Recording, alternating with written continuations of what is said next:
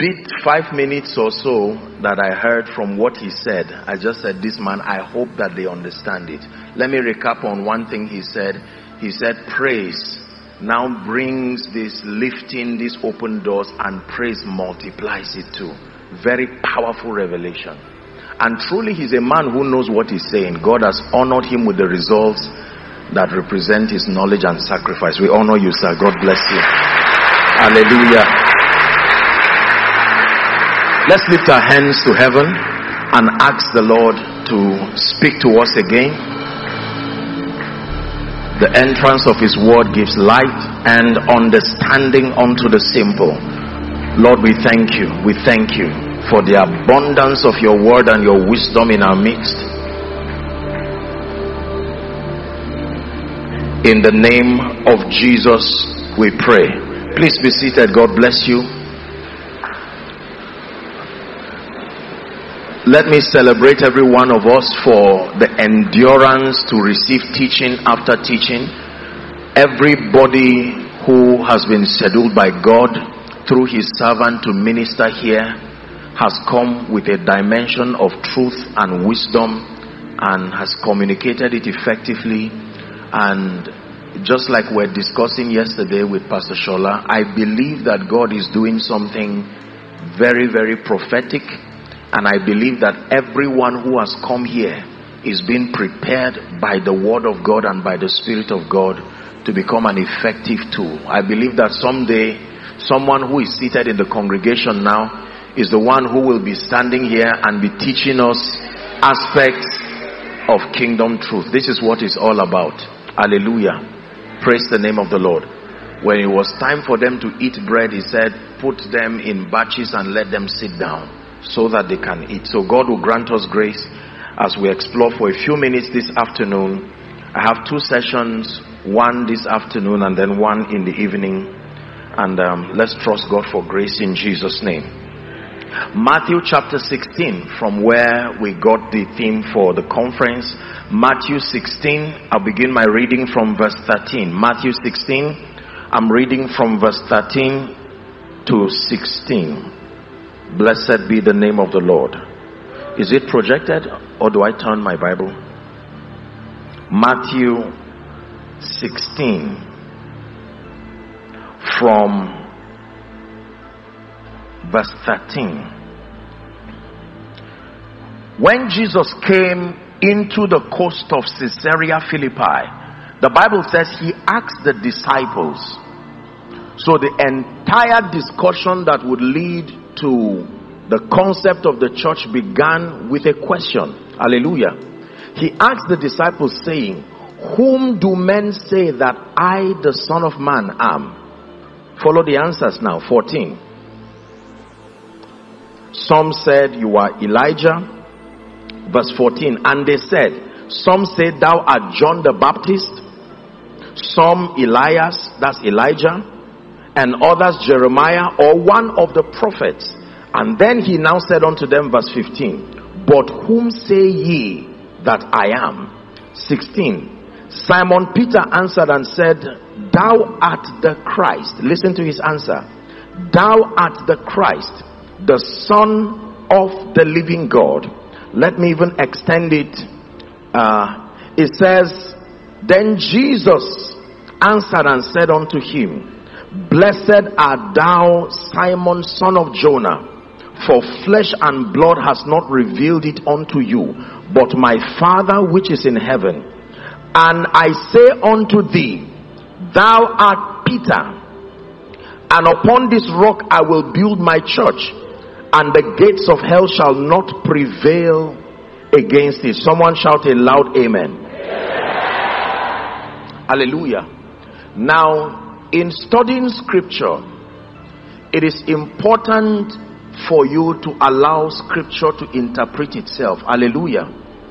First, you know by now that this kingdom, excelling in this kingdom, is knowledge dependent. Hallelujah. That means even though the life that we have been given in Christ, the Zoe life, is a compendium of infinite possibilities, it depends on the level of light, spiritual illumination that you have. Hallelujah. For if you remain in darkness, the Bible says, an heir for as long as he's a child, that he differeth not from a slave. Hallelujah. So this is a kingdom that is knowledge dependent.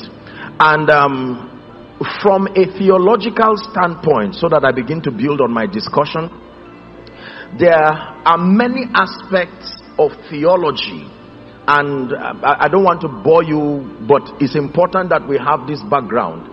Theology itself comes from the word theos, that means the study of God in his triune nature. Are we together? And there are many aspects that completely build the holistic picture of the believer's understanding of God.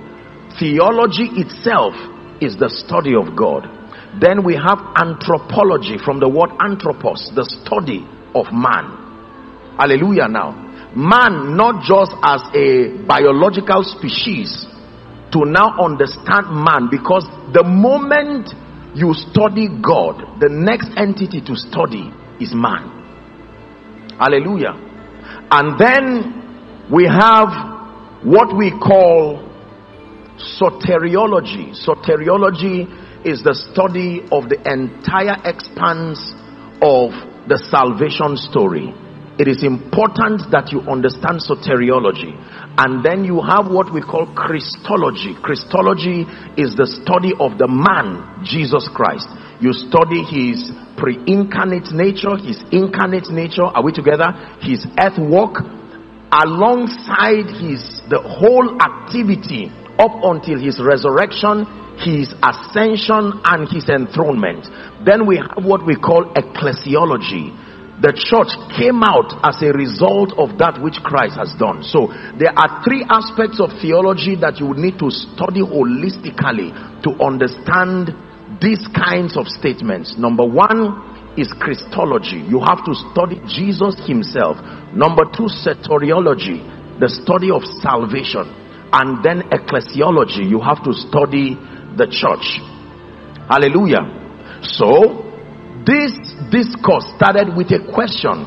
Jesus said, Who do men say that I, the Son of Man, am? And they started saying, You are one of the prophets, and so on and so forth. And then he said, Okay, who do you say that I am? And all of them kept quiet, except Peter. And Peter said, I know who thou art. Thou art Christ, he says, the Son of the living God. So let's examine a few things. Number one,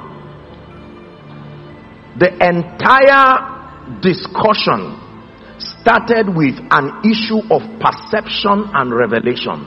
Hallelujah. The entire discussion started with an issue of their perception and their revelation. Jesus was probing into their perception and their revelation. Who do men say? What do they see me as? What is their idea of me based on my background, based on the antecedents around my life, based on the miracles they've seen, what is their perception and what is their revelation of me? This is the first thing that we, we capture in this scripture. The second thing that we capture in this scripture is that Peter spoke by revelation. The Bible does not leave us in the dark as to the fact that Peter was not speaking sensually Peter's response was not an issue of intelligence. Peter's response was not an issue of experience. Peter's response was an issue of revelation. He says, I know who thou art. Then the third thing we find out in this scripture is Peter's answer. Don't forget what we're discussing. Number one was an issue of perception and revelation. Number two, that the answer that Peter got was outsourced from a realm higher than this dimension. His answer did not come using brain work. He says, I know who thou art. Are we together? And now the answer is what is very important. He says, Thou art the Christ. Thou art the Christ, comma, Son of the living God. This is Peter's answer. So Peter is attempting that question Who do men say that I am? Who do you say that I am? And he says, I know who you are. It has been given to me by revelation. Thou art Christ, the Son of the living God. The third thing we observe from this scripture was the response of Jesus. Notice in response to that answer, Jesus first blessed him. He says, You are blessed. In other words, you have truly been empowered. I see the evidence of an external empowerment upon you. It says, You are blessed because you have received this revelation from my Father who is in heaven. That means it is impossible for you, even though you are human, this kind of result does not come from humans. I, the, the, your speaking reveals to me that you have aligned yourself with the Father and that your communication is not of yourself. Are we together? And then he says he blesses him for receiving it for rising above and beyond the realm of flesh and blood because he said flesh and blood has not revealed this that means to understand jesus as the christ you must rise beyond the realm of flesh and blood are we together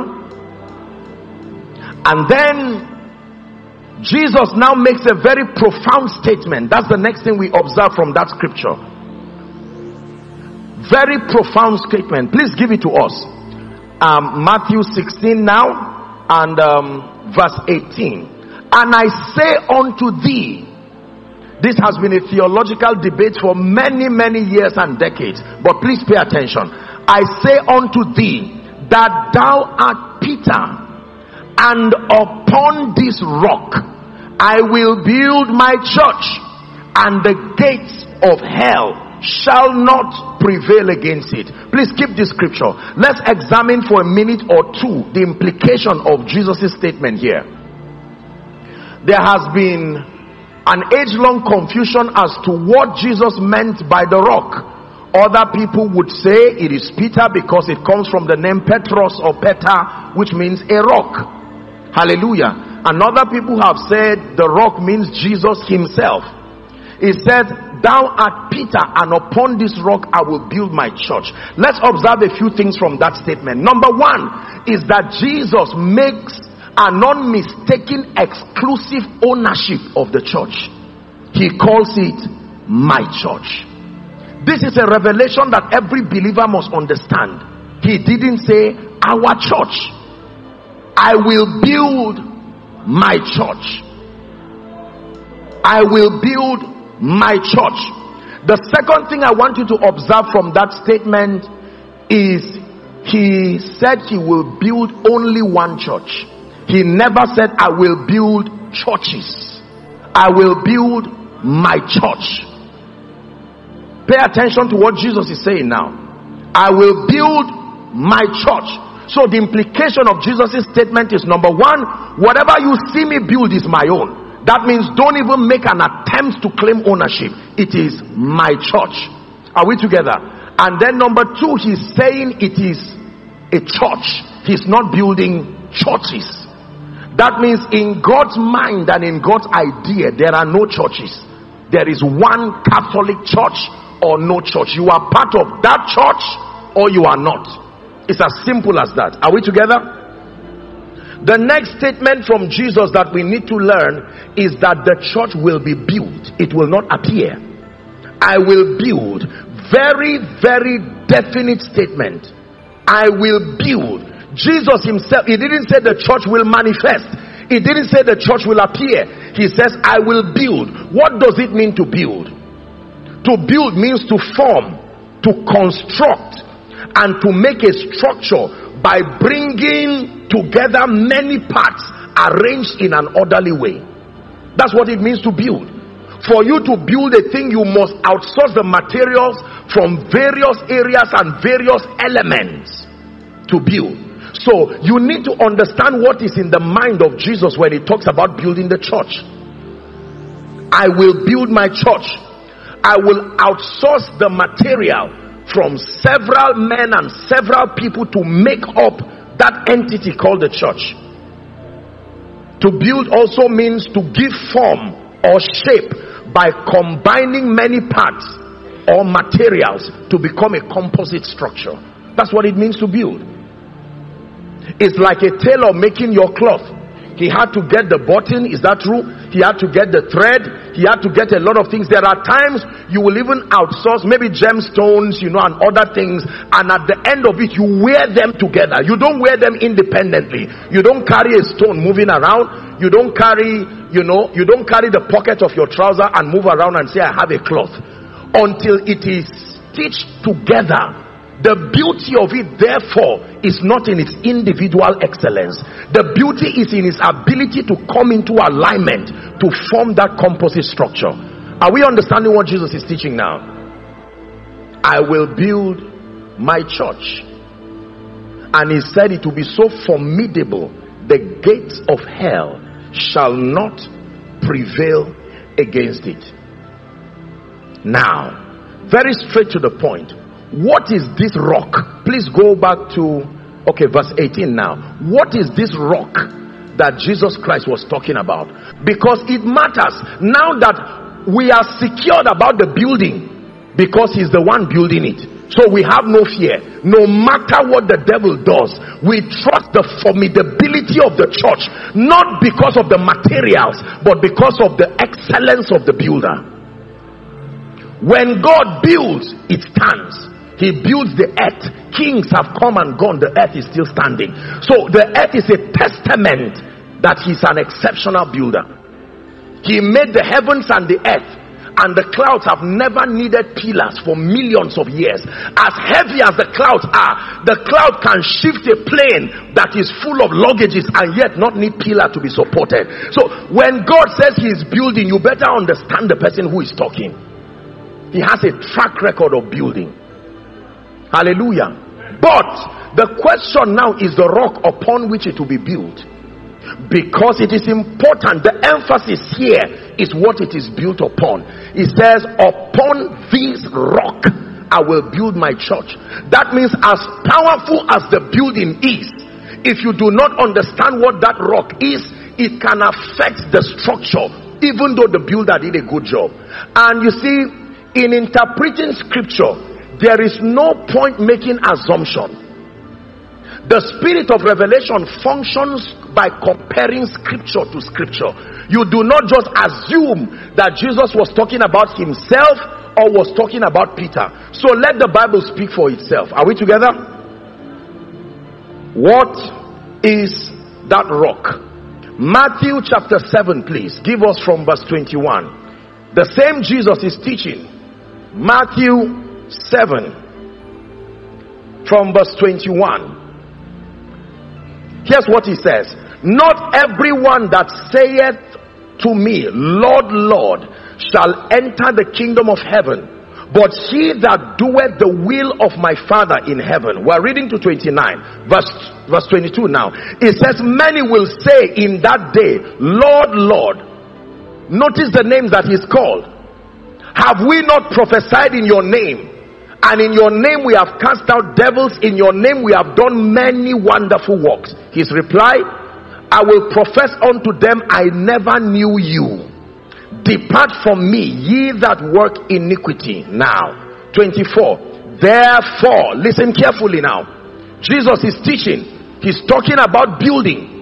Whosoever heareth these sayings of mine and doeth them I will liken him upon a wise man which built his house on Jesus himself is talking to us now about building and about the rock. And he said, when it has to do with building, please back to 14. Or what's, what's the verse where, or 24, the, the, the verse before. Let me just make a point and then we'll go to 24. Yes. Whosoever heareth these sayings, notice there is no mention of building materials there. And yet he's talking of a building. Are we together? That the resources that is equivalent to this building is your hearing and your doing. Please pay attention now. Whosoever heareth these sayings of mine and doeth them, I will liken unto a wise man. So, what makes a man wise? Your hearing and your doing he says which built his house upon a rock now 25 the rain descended the floods came The winds blew and beat upon the house. What happened to the house? It fell not. What was the secret? It was not the power of the superstructure, it was the rock that it was built upon. So, this rock issue is a serious issue. That no matter how powerful the building is, if the foundation is not that rock, these elements, the rain, the floods, the wind, rain is not the same as flood. The rains, the floods, the wind, three of them came and beat upon that building. But the longevity factor was the rock. Now, 26. And then he now says, Everyone that heareth these sayings of mine, my goodness, please look up. This is a very serious statement.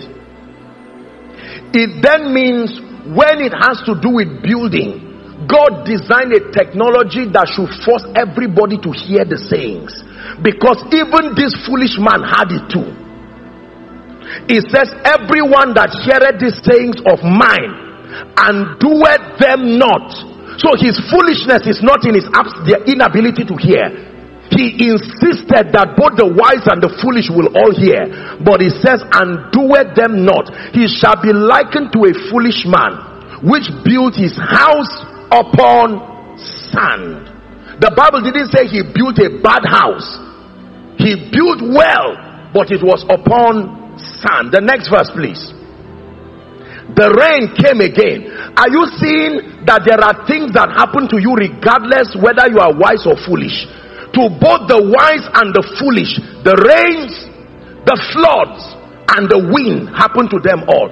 So when you see someone's structure standing, it is not because the rain did not come it is not because the wind did not come, it was that they took the time to build upon the rock, praying that rain does not come, flood does not come, wind does not come. The Bible already tells you that with respect to that building is a foolish prayer because these are realities that happen to men according to the law of time and chance. Are we together now? But that the advantage that that believer has is that one built on a rock, one built on sand. Please pay attention and let God give us this revelation as we pray.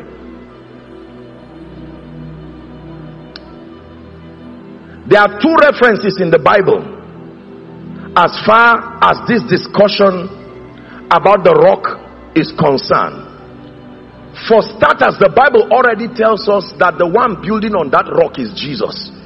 So the rock is not just Jesus alone, because Jesus is the one who is building on that rock. Are we together now? Let me run through a few things here.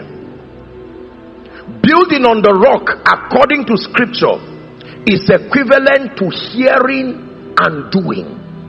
Building on a rock according to Jesus' own teaching, he likens it to hearing and doing.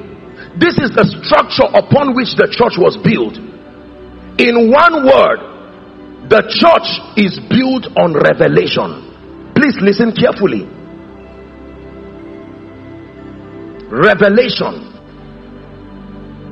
I will build my church upon this revelation.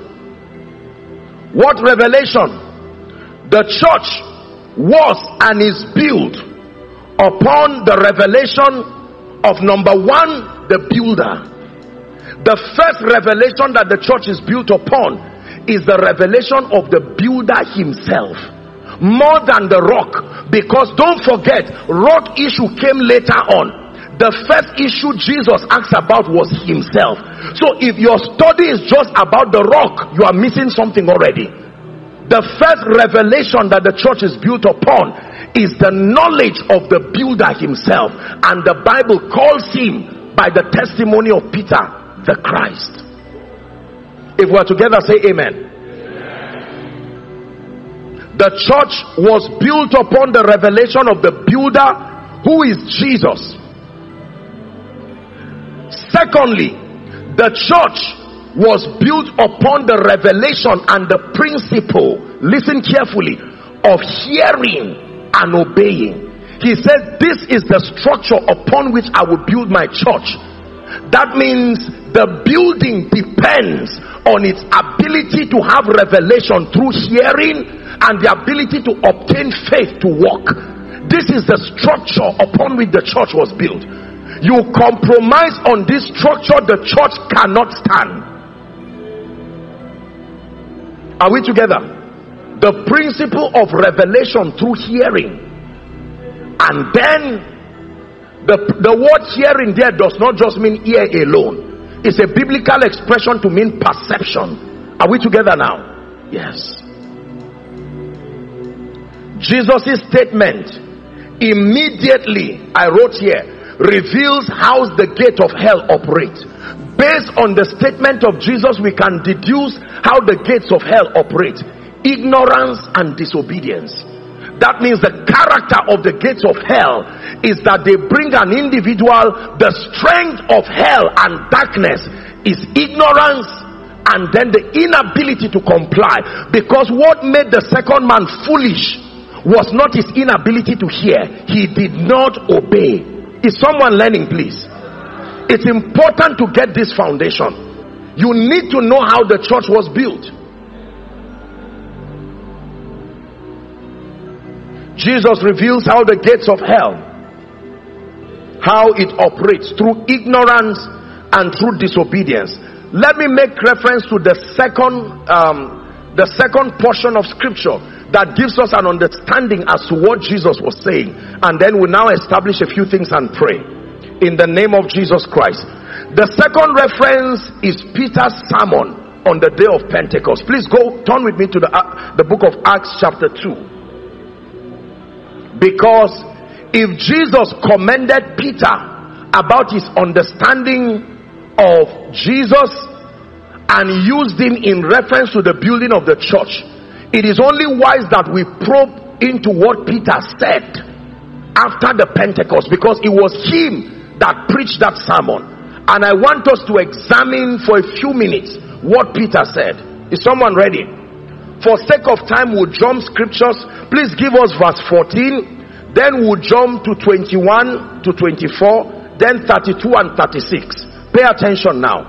Acts chapter 2 and verse 14. It says, But Peter standing up, now they were filled with the Holy Ghost, and people came and said, These men are drunk with new wine. And Peter is speaking in defense of that experience now. Peter standing up with the eleven lifted up his voice and said, Ye men of Judea and all of you that dwell at Jerusalem, let it be known to you and hearken unto my words. Uh-huh. Verse um let's go to verse 21 now for the sake of time. Jump to 21. He began to speak to them this is that that which Joel said he now made reference to the Psalms by the time we get to 21 he said it shall come to pass that whosoever shall call upon the name of the Lord shall be saved. Reading to 24. Ye men of Israel, hear these words. Jesus of Nazareth, a man approved of God among you by miracles, wonders, and signs, which God did by him in the midst of you, as ye yourselves you know. Reading to 24. It says, Him being delivered by the determinate counsel and foreknowledge of God, ye have taken and by wicked hands have crucified and slain. 24 whom God has raised up having loosed the pains of death because it was not possible that death should hold him. Jump please to verse 32 and then we end with 36 verse 32 I'm jumping because of time. It says this Jesus not a different one. This same Jesus had God raised up whereof we are all witnesses. Now verse 36 36 for time. Therefore let all the house of Israel know assuredly that God had made the same Jesus whom you have crucified both Lord and Christ. Jesus is discussing about the church and he's saying upon this rock who do men say that I am and Peter says, I know who you are. I am the Christ. And then he says, you are correct in knowing that I am the Christ as revealed to you by my Father in heaven. He passed that test. He now goes to the next subject, even though connected to what he was saying. He said, Upon this revelation, what revelation? That for the church to be properly built, there are two elements of the glory of the church that must be captured in that building. Number one, the revelation of Jesus as the Christ. Number two, the principle of revelation and obedience. Is someone learning now? So you must know the builder, Jesus the Christ. Let's discuss that word, the Christ, for one moment, please. Because many people will tell you that they know Jesus. Not everything about Jesus translates to salvation. If you know Jesus as the son of Mary, it has no effect in the realm of the spirit. If you know Jesus as one of those, those prophets, it is just a theological advantage. But as far as the release of power and dominion is concerned, principalities and powers have never been subject. They have never trembled at the fact that jesus was a prophet. Not everything about the revelation of jesus threatens the gates of hell.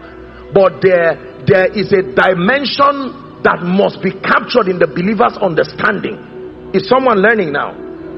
Jesus the christ. The word christ comes from the greek word christos and Christos means the anointed one. This is where most people know. It does not only mean the anointed man, the anointed one. It also means the chosen one. And that's where I want to dwell.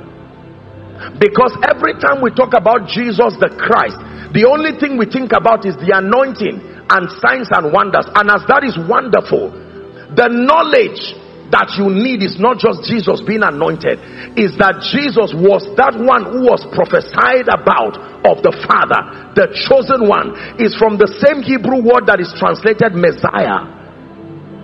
The chosen one, not just the anointed one.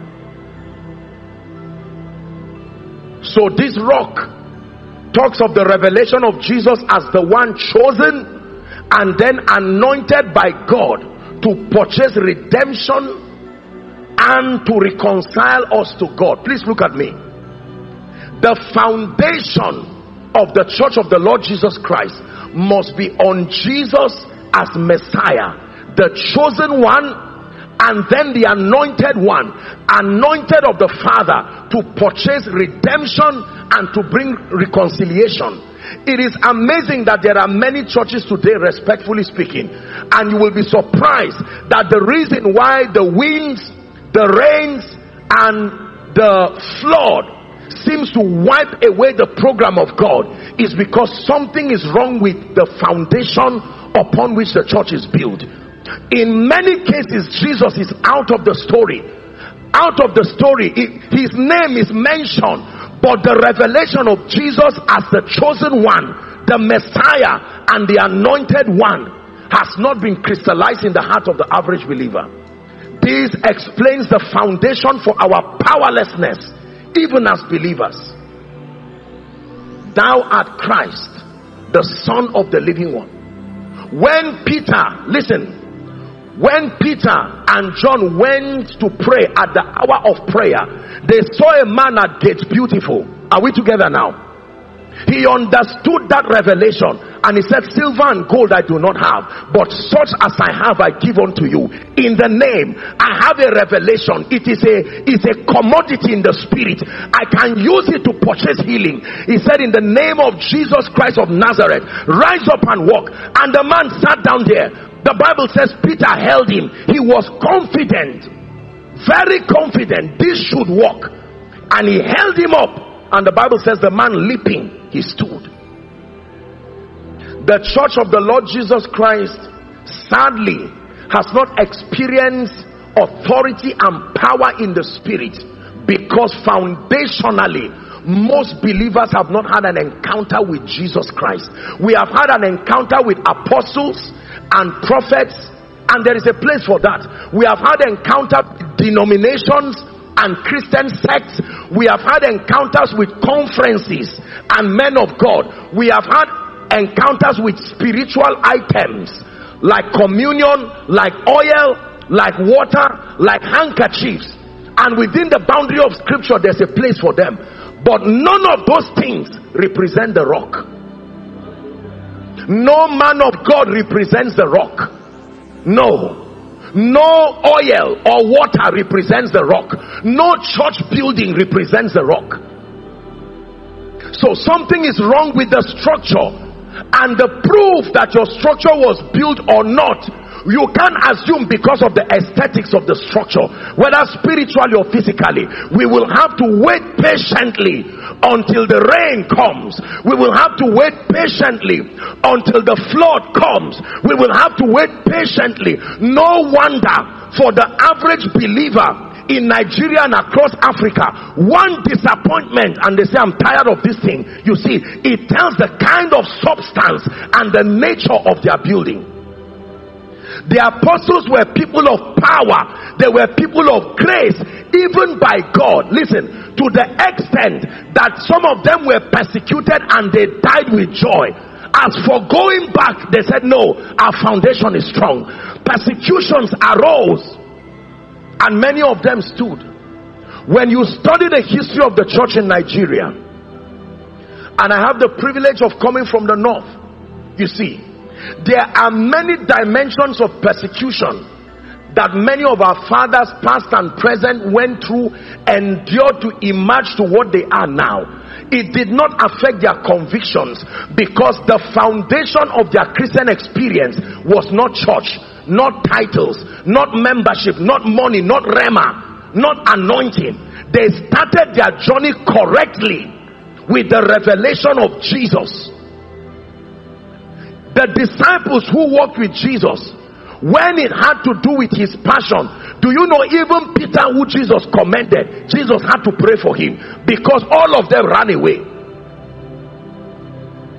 Your knowledge of Jesus is what defines your stability in the faith experience. The revelation of Jesus Christ that you have Many believers shout like Peter, Lord, I will stand for you. And let something just happen with their job. Let something happen with their marriage. Let something happen with their children. And the kind of Christianity we advocate right now shows that the moment there is anything wrong, usually people, oh God, you have failed me. If you are faithful, why do I not have a child after five years? I will go and outsource power from somewhere else. Who do men say that I am? It says, Thou art Christ, the Son of the living God. I hope you know not to condemn, but there are many people today being ordained, many people being made prayer coordinators, choir coordinators that have not encountered Jesus. They only have experience of longevity within a church setting. And it is dangerous for the body of Christ because now you have people who have not had an encounter with Jesus, the Messiah, the Christ. They have not obtained his life in experience, but simply because they understand the technicalities of ministry, they have been promoted, ordained, sometimes even assigned branches, respectfully speaking. And then the storms come, then the rain comes, and all kinds of things happen and you find believers denying Jesus for a simple political position many people will turn Jesus down and say listen let's leave this Jesus issue. We'll ask for forgiveness later on.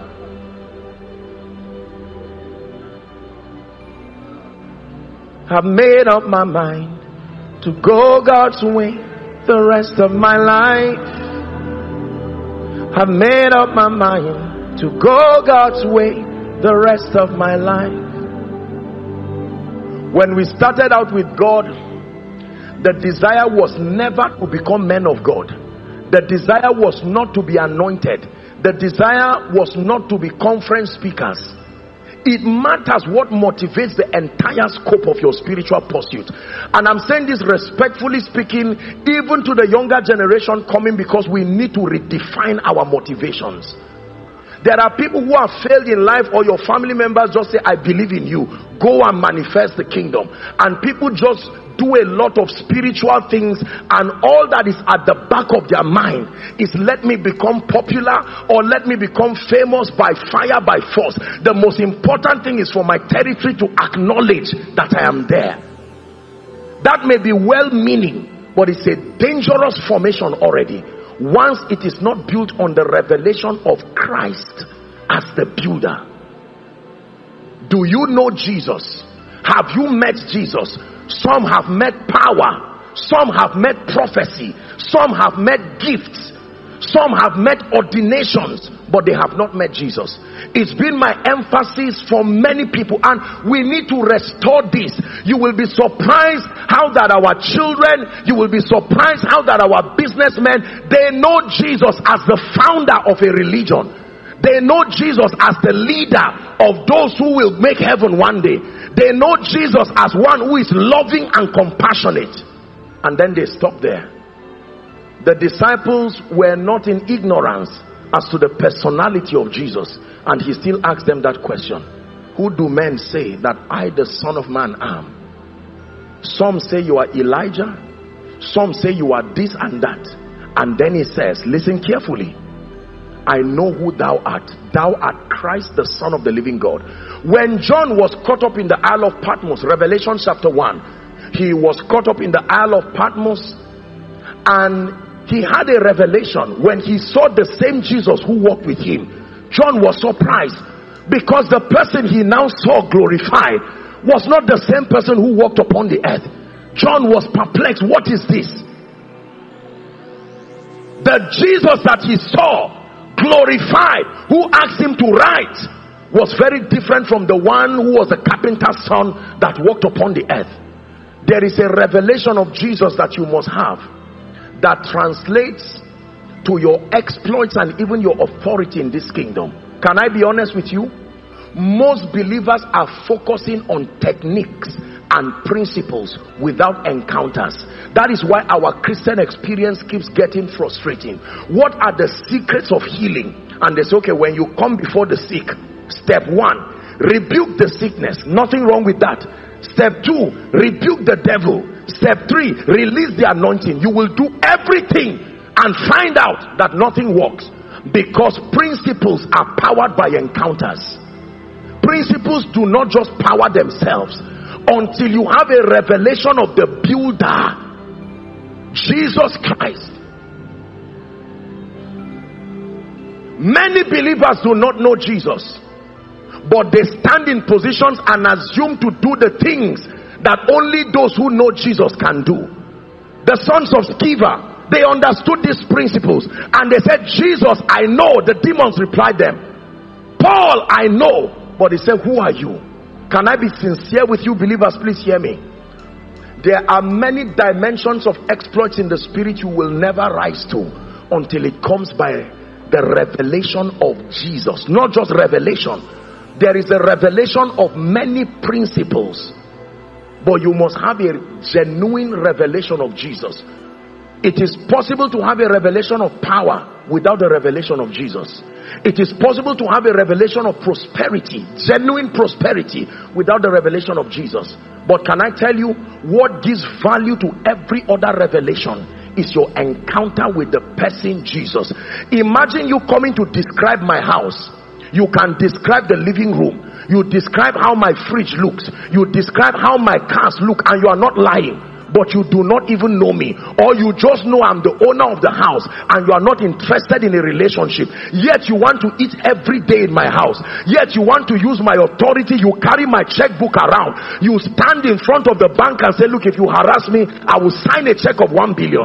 And the owner of it is watching you. Just because you know I'm the owner does not mean you know me there is a desperate cry for encounters. Let me tell you this. I've studied a bit about the church in Nigeria, and you see, Many of our fathers, they did not have the privilege to be educated, but these men took time to know God. They would speak from a position of authority and they won't go back and pray later and say, God, I hope I won't be put to shame. They had a level of persuasion and confidence. The church was built on the depth of revelation of Jesus as the chosen one and the anointed. The Bible says there is no other name under heaven given unto men. Today, therapies are replacing salvation. There are people who don't need any therapy. They need an encounter with Jesus. No amount, I'm not saying there is wrong. No amount of therapy will impart eternal life. There are people who will undergo deliverance time and again, but the real problem is not the presence of the demons. The real problem is they have not been open to understand Jesus, the Messiah. When the disciples had that understanding, it changed their understanding. And the Bible says, These are they that turn the world upside down. Please look up. The greatest experience in my life as a believer it's not my encounters with the gifts of the Spirit. It's not even all these wonderful things as important as they are that God has done in and through my life.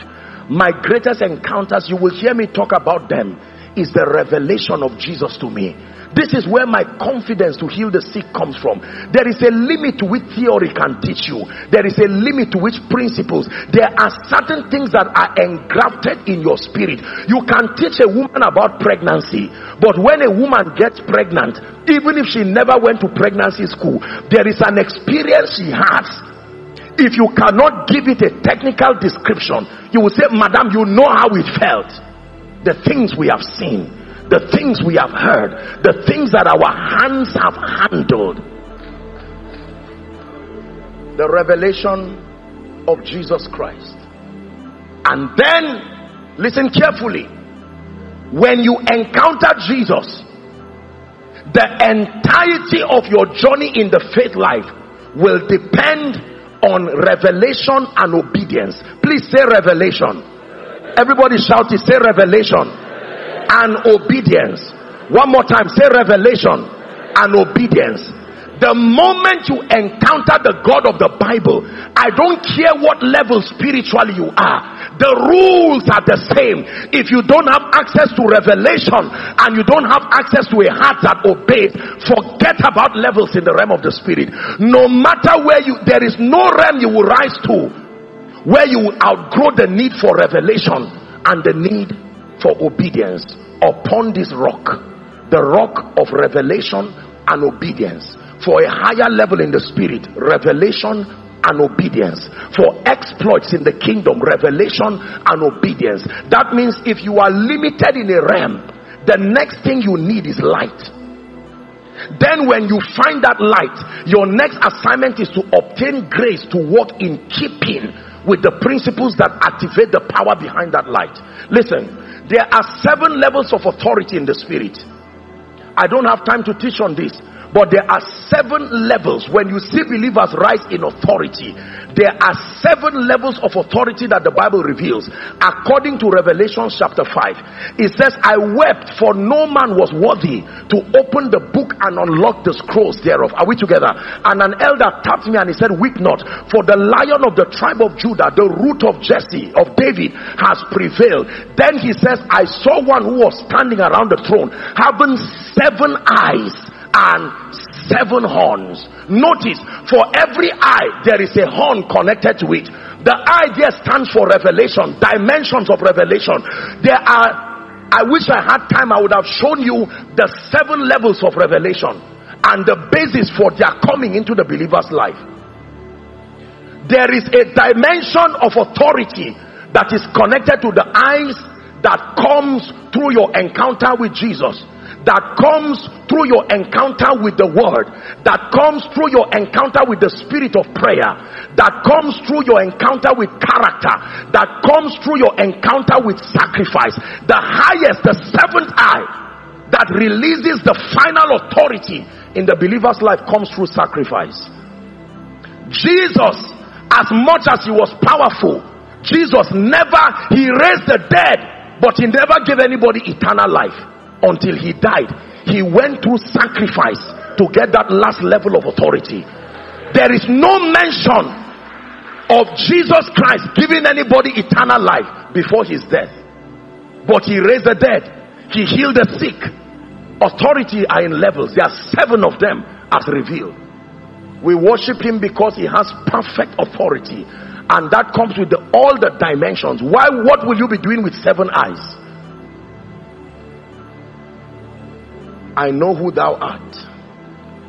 Thou art Christ, the chosen one and the anointed one. When you meet the God of the Bible, when you encounter Jesus, who is the Son of the living God, you have already gotten a sure foundation for your Christian experience.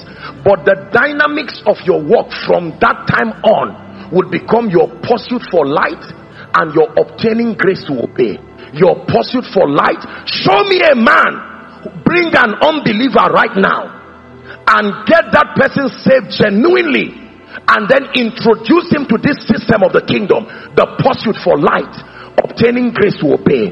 The pursuit for light meet that man after five years. You see that you will never find the same man.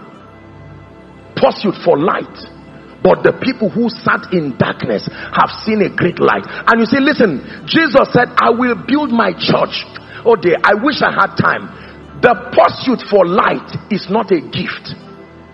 The same way authority is not a gift. Are we together now? Mm-mm. Is the resultant effect. Your dominion is a product of the level and the access of light that you have. We can all be Christians. Listen, please look up we can all be Christians, even called to be in ministry. The difference between any two believers, I tell you, is not just the election of grace alone, it is the access to high level spiritual illumination that they have contended for through the ministry of hunger and alignment, and the grace they have obtained to walk in keeping with that grace. Because the foolish man who built on sand also had, but did not obtain the grace to obey in the parable of the ten virgins you notice that what made them virgins was the presence of the lamp. What made some foolish is that they did not carry extra oil. All of them were virgins. Are we together now? Apostle i desire to step into a dimension in the spirit. Is it possible for me? Remember how he built the church so you don't sit down and say, Lord, I desire to enter this dimension. No, there is a light for every dimension of authority you are looking for. Find the eyes first that connect to that horn. Are you getting what I'm teaching you now? Don't look for the seven horns until you find the seven eyes that control the horns. There is an eye for every horn that represents authority you want to rise financially there is a body of revelation allocated until you find it and then obtain grace to walk in obedience. Revelation obedience. This is the rock upon which the church was built. I want a higher level of the anointing. What you are looking for should not just be an impartation. What is the body of spiritual revelation? Look at this in the life of jesus. What was the commendation of the father about jesus? It was his obedience. He was obedient even unto death. This is what creates people's stature in the spirit. It's not superstition and religiosity. The depth of your pursuit for light and the determination to walk in keeping with the principles that activate the power behind that light. Let me show you how God taught me this. Many years ago, I had a vision. And in my vision, I saw a giant door. And that door was made up of smaller doors. Listen carefully. And the door was opening and closing. Opening. And as soon as the door opens light will shoot out of it. And i noticed that on all the smaller doors you know how a post office box is. So there is that compartment then there are the smaller doors. I noticed light was opening and closing. And upon every light there was a scripture that was written. And the holy spirit now taught me that every time you catch a revelation that light is the authority component that empowers you to defend that revelation. That means anytime you are claiming you have caught light we will verify it by the authority component. For every eyes there was a horn. So if you tell me I have five eyes, but we are seeing one horn, four is not genuine in your life. You have not caught that dimension. That means I can raise the dead, I can heal the sick. Congratulations. What is the basis of your revelation? This is also how to defend genuine power and power that is not genuine because power that is not genuine is a product of superstition but power that is authentic is a byproduct of light you can detect error in a moment by searching for the revelation component that empowers that individual if i'm walking in a level of spiritual authority and I cannot defend that level by the requisite level of revelation, something is wrong with that formation because the church was built upon the formation of hearing and obeying, access to light. Hopefully, by evening, we'll have the time to discuss because you see, this issue of hearing there are two dimensions to the word of God that the believer must obtain. There is the written word of God that you must have access to. Are we together now? But there are times you must master the art of hearing because your excelling in this scripture will come as a result of the, the excellency of your hearing. If Abraham had God to start the journey to kill Isaac and he did not hear God to stop, he would have killed Isaac and misrepresented God. So it's not just the hearing to say start you must also hear when God says stop. God can tell you go to Ibadan for five years and for 15 years you will be failing in Ibadan and say I know what God told me. God said start but do you have the hearing of when he says stop? This is where many believers become cheated because the dynamics of navigating seasons through the word of God both spoken and written they do not have it. God can tell you to lift your hand yesterday, but what is He saying now? You can lift your hand forever when the validity period of that instruction has come to an end long ago.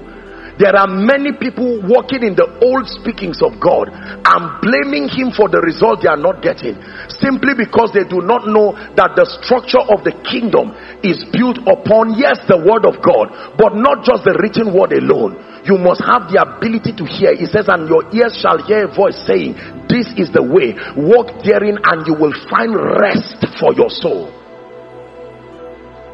I was in Zaria for many years, and from 2018, the word of the Lord began to come to move to Abuja. I argued with God's word for three years. my human nature god i don't want problem. What will i move to abuja to do? Move me somewhere else but not i'm not ready for the i don't think i want to go to abuja. And yet the word kept coming. You see when god speaks once it's your responsibility to hear twice. He will not speak twice he will speak once and the word remains there because the word must return to him with a message whether you obeyed or not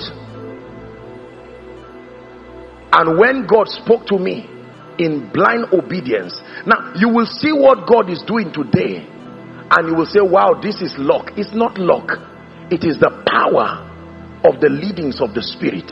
He that hath an ear, let him hear what the Spirit saith. Listen, in the days that are coming, the ability to understand the word of God and the construct of the church will mean the difference between life and death for many people. This is not just an issue of going forward or backward. Hallelujah. Thou art Peter, and you knew me by revelation, and you honored the revelation you had by speaking it out. This is the structure I am going to build the church in. That means the beginning of any journey and any realm for you is your pursuit for light. My question is, how was it revealed to Peter that it was not revealed to the rest? Because the Bible says the same Lord is rich unto all. So, what was the basis of Peter's revelation? Receive with meekness the engrafted word.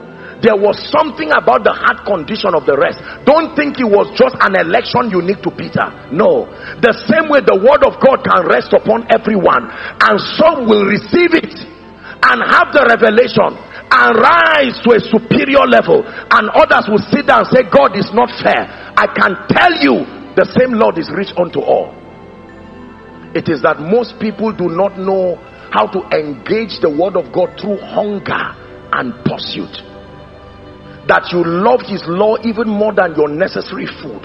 My challenge for you this morning, in addition to all you have received, listen, ladies and gentlemen, is that number one, you must get to a point where you desire a genuine encounter with Jesus Christ. Talking about the God that a man of God knows is wonderful. But you are my God until he becomes your God, you cannot serve your generation.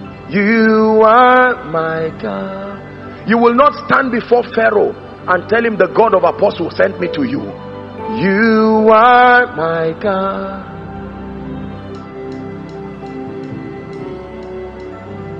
You are my God. There are things today I believed yesterday I do not believe them again. Because when I met Jesus, he edited my understanding. There are things I do not believe yesterday, but I believe today because I met Jesus. There are things I believed yesterday, I still believe today because I met Jesus. There are things I didn't believe yesterday, I will not believe them forever because I met Jesus. What is the basis of your conviction? There is blind bold face in the body of Christ that is not backed up by conviction. I know whom I have believed, and I am persuaded that he is able to keep that which is committed unto him against that day. We had the joy and the, the pleasure of being at um, Pastor Yemi David's building, magnificent structure. You see what God has done there, you will know that this one is more than money and architecture.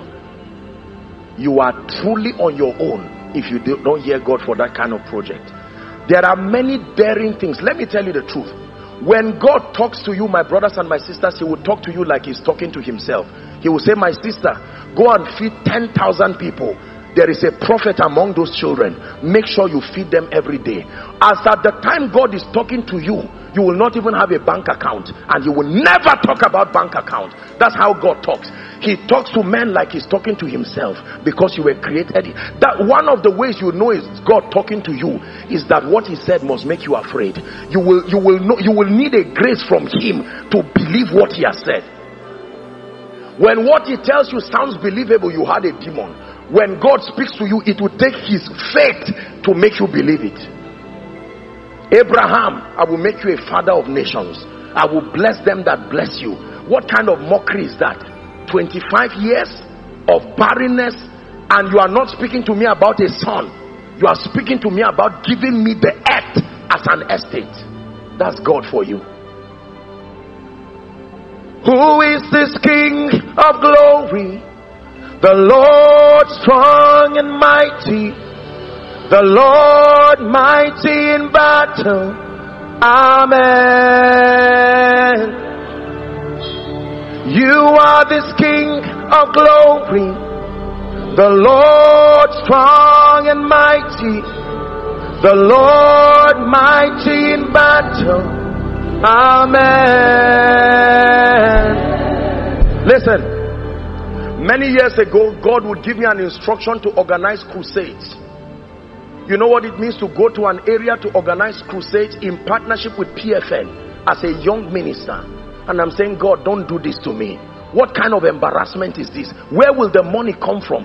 A crusade is not a conference. Conference, you can borrow venue. Hallelujah. There are many instructions that God will give you he will speak to you based on the confidence of his ability that you know and his person that you know. If Pastor Shola right now tells you, come and collect a car tomorrow, you will call your family members and start rejoicing. You will not say, let me wait in case he's lying. Because you have weighed him and based on your knowledge, you believe that he's able to cheaply do that. That means many of our doubts is not the issue of demons. Is is the, your doubt is a symptom of lack of encounters.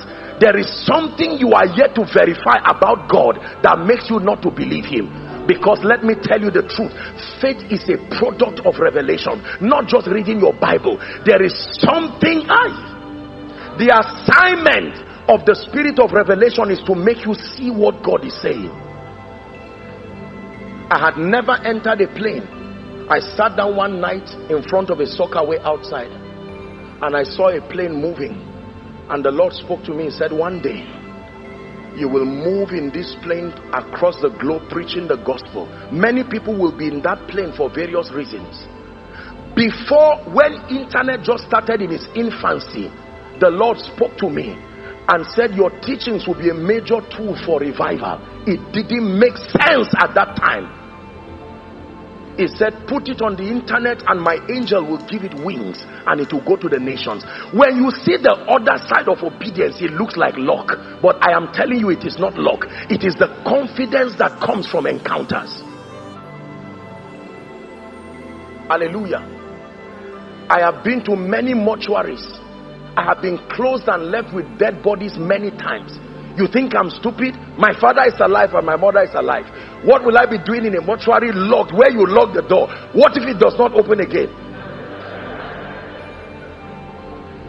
When you hear stories, don't just think people are lucky.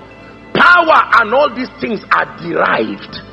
Everything in the kingdom is derived from revelation, including your salvation.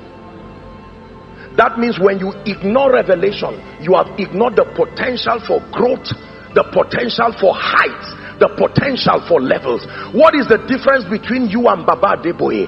It's not just physical age. They have walked with God. Is there an Enoch walked with God? These people have walked with God to a point where you can come with your lamentations, crying and saying, Sir, tomorrow they are driving me out of the house. And they can even be eating and say, God will show you mercy. And number one, you don't even understand what they are saying because it will take a level of light to dissect the confidence from which that statement came from. And because it is an eye there is a horn that backs it too. God will show you mercy. And immediately at the instance of that word somebody in your territory will lose sleep until he finds you. Now you try it it will not happen. Because you are holding a horn that does not have a revelation that supports it. This was the mistake of the sons of Sceva please understand my message this afternoon. I'm making it simple for you to understand. What was wrong with the sons of Sceva? There was action. There was zeal but no revelation that activated the authority. And the demon said no. When jesus said i will build my church we had what he said. Jesus i know. 12 years in the temple activated by the spirit there was authority that supported his revelation. Paul i know 18 years in the wilderness of arabia learning and growing, building capacity, going up by revelation. You, where do you stand? There are many people organizing healing conferences without encounters. You can put banners and say in the name of Jesus, Jesus the same yesterday, today, and forever. That is publicity, not encounters. Now the sick people come, and now you, in your mind, the message of apostle you listen to or any other message, step one, stand this way rebuke that is that is stories. You are going to make a mess of yourself in a way that you will be a warning to other believers. Let me tell you where it starts from. An encounter with jesus. I listened to one of T.L. Osborn's message and this man cried to know him. What was paul's greatest prayer?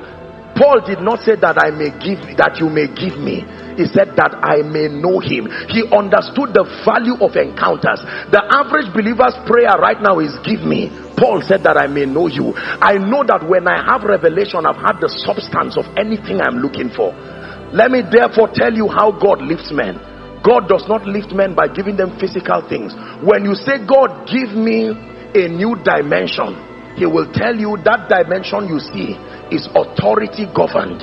But for you to have access to it, find the eye one of the seven eyes that connects to the seven horns. Those who know this bar they don't waste their time wishing things. They use light to navigate their ways through realms of power and realms of grace. You want to walk in superior levels of the anointing. There are revelations that govern that outcome. You want to walk in favor there are revelations that govern that outcome. What is the difference between Aliko Dangote or Otedola and any other businessman? It's not the will of God.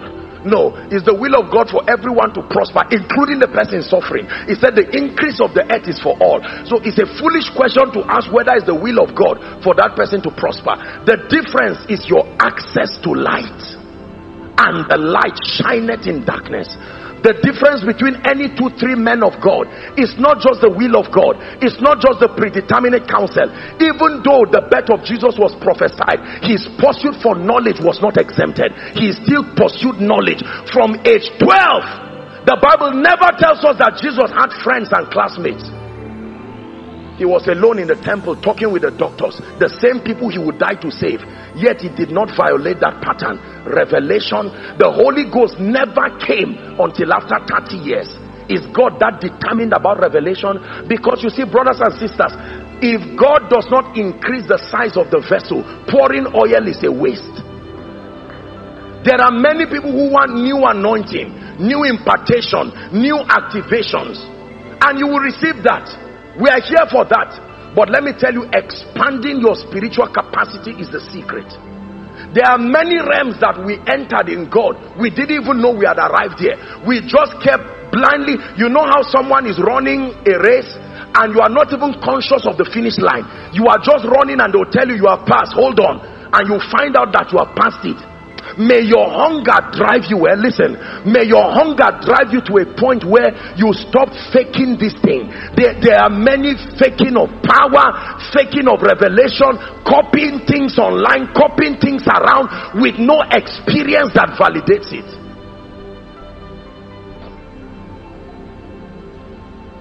I am a man under authority. I say unto one, Go, and he goeth.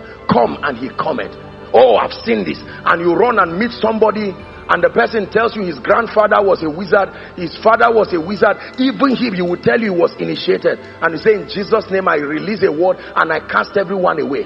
You will be surprised that instantly you can have headache you cannot explain. After two weeks you can't wake up again. And you are saying lord but i saw it in the bible that i've been seated with christ and so on and so forth. It is true. Paul got it right but you must understand the dynamics. Having their understanding darkened ephesians 4:18 being alienated from the life of god through the ignorance that is in them. Please hear me. The strength of the gates of hell is ignorance and disobedience.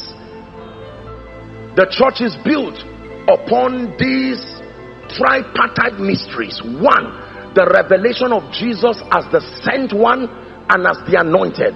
Number two that advancement in the kingdom at any level is a component of high level spiritual illumination that comes through hearing and seeing and then obtaining the grace to do. It says now that ye know these things happy are you if you do them.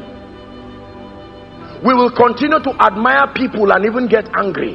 We'll continue to celebrate people as though we were relegated by god simply because those who have been built to be formidable as individuals and as corporate entities are people who have understood the power and the value of light and the grace to obey.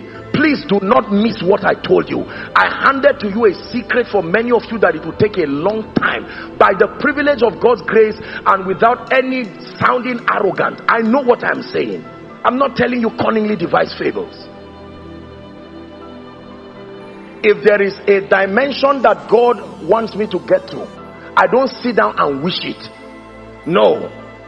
I know that if I'm to rise to that dimension, go back to the structure of how the church was built. Upon this rock. What is the rock? You have satisfied that one of knowing Jesus. Now the dynamics of rising and ascendance in the spirit is a product, listen carefully, of your access to light. And here's what the Bible says through desire, a man. Some of you have been sitting here from morning, preacher after preacher. You look foolish even to yourself because some of you are already men of God. And people will look at you and say, What is all this one? Why will a man of God travel down and come and sit down? Let me tell you, it's the pursuit of light. Light because it is according to the light component that we have just wishing anointings and carrying a seed in an envelope and kneeling down and you are wasting oil you've been wasting it for many years because the vessel that is covered upon you have a teaspoon and you are pouring one bucket of oil God will stop administering that kind of wastage. Light me, Lord. Light me, Lord. Light my life like a candle. Light me, Lord. Light me, Lord. Light me, Lord. Like a candle. Light me, Lord. Light me, Lord. Light me, Lord. Like a candle. Light me, Lord. Light me, Lord. Many years ago, I was in a Reinhard Bonnke crusade. That's when I will have a revelation of the miraculous. I was a man of God already by God's grace, seeing some level of results. But there was a crowd, probably tens of thousands of people. And I smuggled my way through that crowd and I stood. I was focused on the man. What he was preaching was very simple. And as soon as he was done preaching, he was going to take water. Pastor, and my eyes opened. I went there with hunger. I didn't go there with pride. I am a man of God. Because when you listen to Reinhard Bonnke and you don't have hunger, if it's what you want to hear, English, you are going to be frustrated. Because you will be talking and read a scripture, but you learn to, revelation helps you to see behind the layers. And he was going to take water when my eyes opened and I saw, you've heard my story. I saw the eagle that was soaring around and the Spirit of God took me to Genesis chapter 1 from verse 2 and 3 and the Spirit of God hovered around the face of the waters. It came to me by revelation. You see. So if I begin to speak and things happen, I'm telling you sincerely and it's not pride, forgive me. At this level, I'm not trying to believe God again. No. I would be lying if I tell you I am. No. The only thing that governs me now is the limitation of my honor to his voice, not lack of results happening. No. You see, there is a level you get to bar where because of your ascendance in the spirit, even if you say what God did not tell you, he will do it to honor that level. Then he will punish you later quietly or rebuke you. This is true. That means if I get up now and say somebody is running out by the anointing, the person will run out because God has invested his name and his honor too much. He will defend it by any means. Is when I go back, he will say, Son, this was not consistent with my will. So at this point, you are not looking for results, you are looking for accuracy of the will of God. There is a level where you are looking for results, you are trying to look for results but there is a level where your concern is accuracy that that which was in the bowels of the spirit is delivered to precision without the interruption of flesh man of god please hear me. Precious people of god this revival that we keep talking about i'll talk a bit about it in the evening before the miracle service. I don't claim to know everything about god but i can tell you this one thing. If you do not pay the price to know God you will never be relevant to your generation. I don't care whether you are going to be in ministry whether you are going to be in business. The price is to know the builder the Christ Peter said I know who thou art thou art the Christ and then understand this formula the, the primary assignment of prayer was not to express ignorance the assignment of prayer is to build capacity in the spirit. Most of our prayer life is full of ignorant discussions. Discussions that are derived as a result of the inaccurate understanding of the ways and the systems of God. Lord lift me Lord lift me it's a sincere prayer but it's not a wise prayer lifting in the spirit is a, a product of revelation and the increasing and the obedience that supports it so you can be there saying, Lord, lift me. My life can't be like this. Because he's loving and merciful, he will still come to you. But he will still refer you back to his pattern. Therefore, the more I submit myself to prayer, to expand my organs of interaction with the realm of the spirit, the more I submit myself to the learning of scripture. The Bible says in Acts chapter 2 and verse 42, it says, And they um, they continued steadfastly in number one the apostles doctrine number two fellowship number three the breaking of bread number four prayer. That's how the church became powerful. They continued steadfastly. Acts chapter 6 and verse 4 they said but we will give ourselves continually to prayer and the ministry of the word. You want to rise and do much for god in Abeokuta just waiting for a man of God to come and impart grace upon you may help. But let me tell you, there is a man of God here. The secret to your next level is to stop running around and shut down to say, Lord, reveal yourself to me. I'm tired of talking about a God I do not understand. I'm tired of borrowing messages online and moving around and saying it. You will talk like a preacher but not see what the person saw because the person was talking from a standpoint of revelation. Lord, I, I want to settle down and know you. And you invest time, invest time in prayer, invest time in fasting, and stay with the word. Open my eyes, oh God. And while people are celebrating you and say, Man of God, you are doing great, you know, people send me text messages all the time and say, Apostle, look what God is doing through you. And I say, Lord, may these things never distract me. I lock myself and pray like I've never started. I lock myself and fast like I've never started. I study the word of God like somebody who does not have any iota of revelation because sincerely I will tell you, the more I know him, the more I want to know him. Jesus, more of you. That's the character of one who will last. The more I know you, the more I want to know you.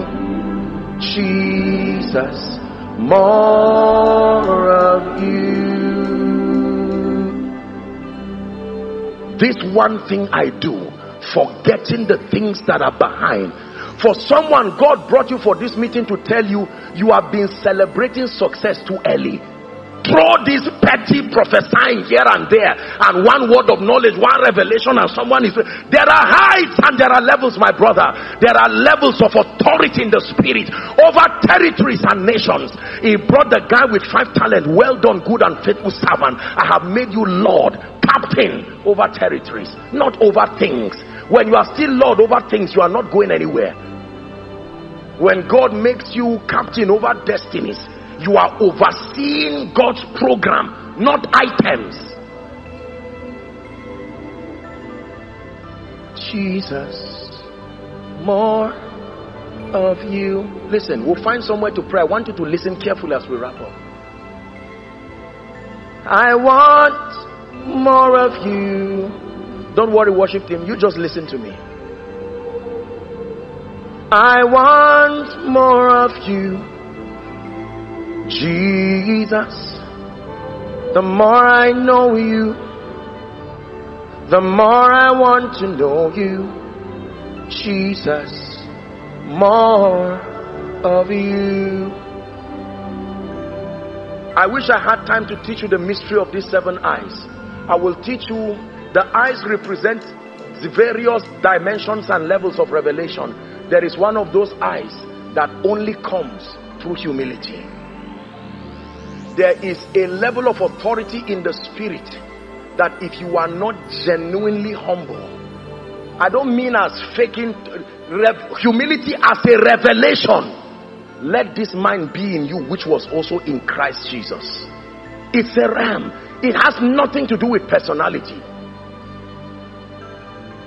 there are things that when we see it swallows up the little that we know and we are broken immediately so on one hand, while people clap and say, well done, man of God, you are doing this, healing the sick, raising the dead, doing this.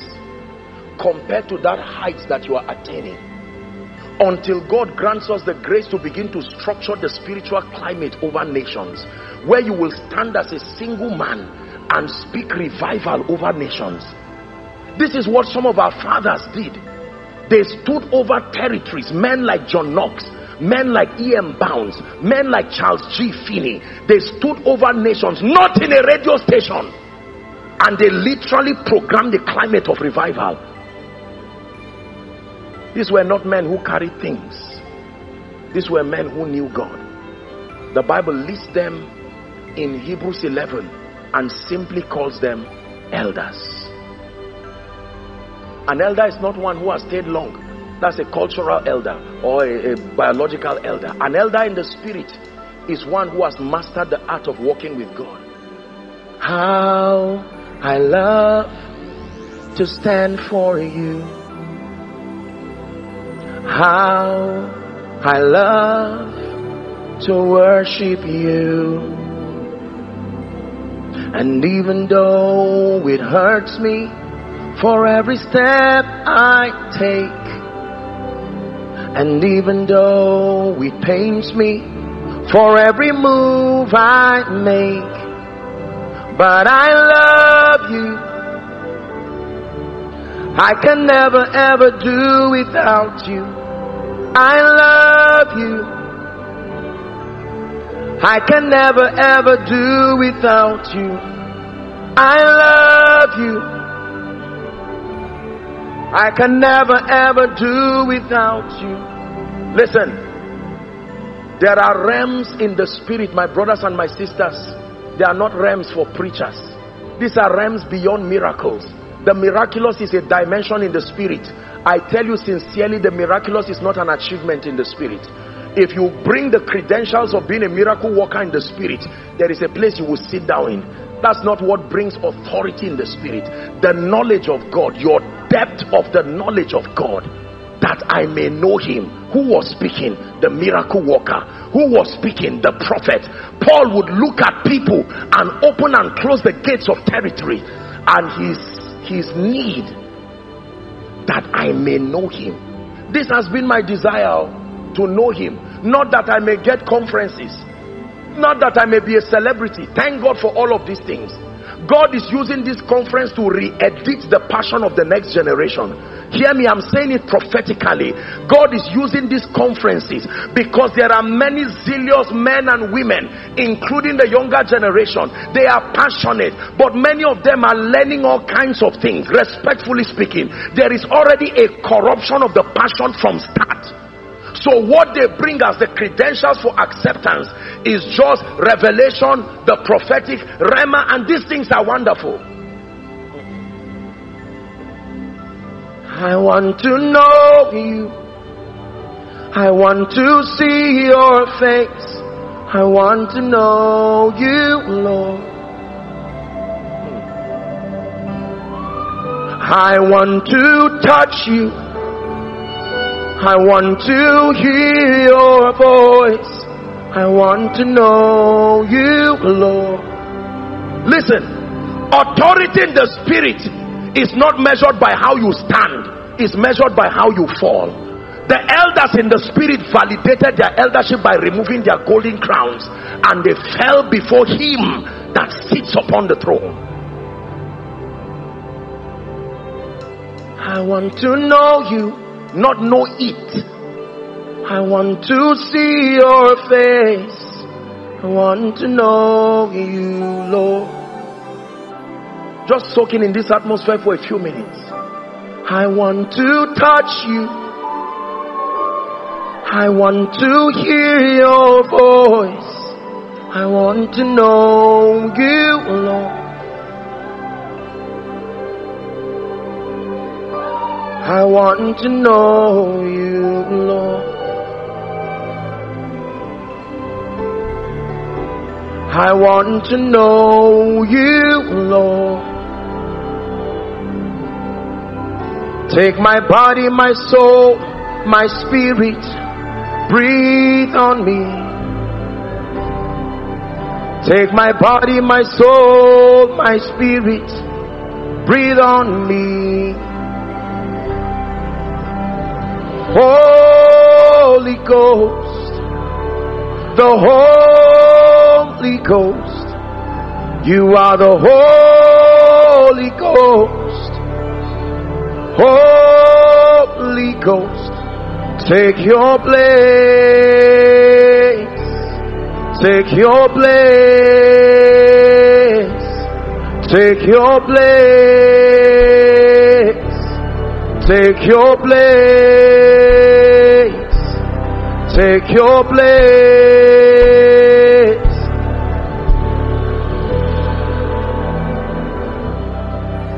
Take my body, my soul, my spirit, breathe on me.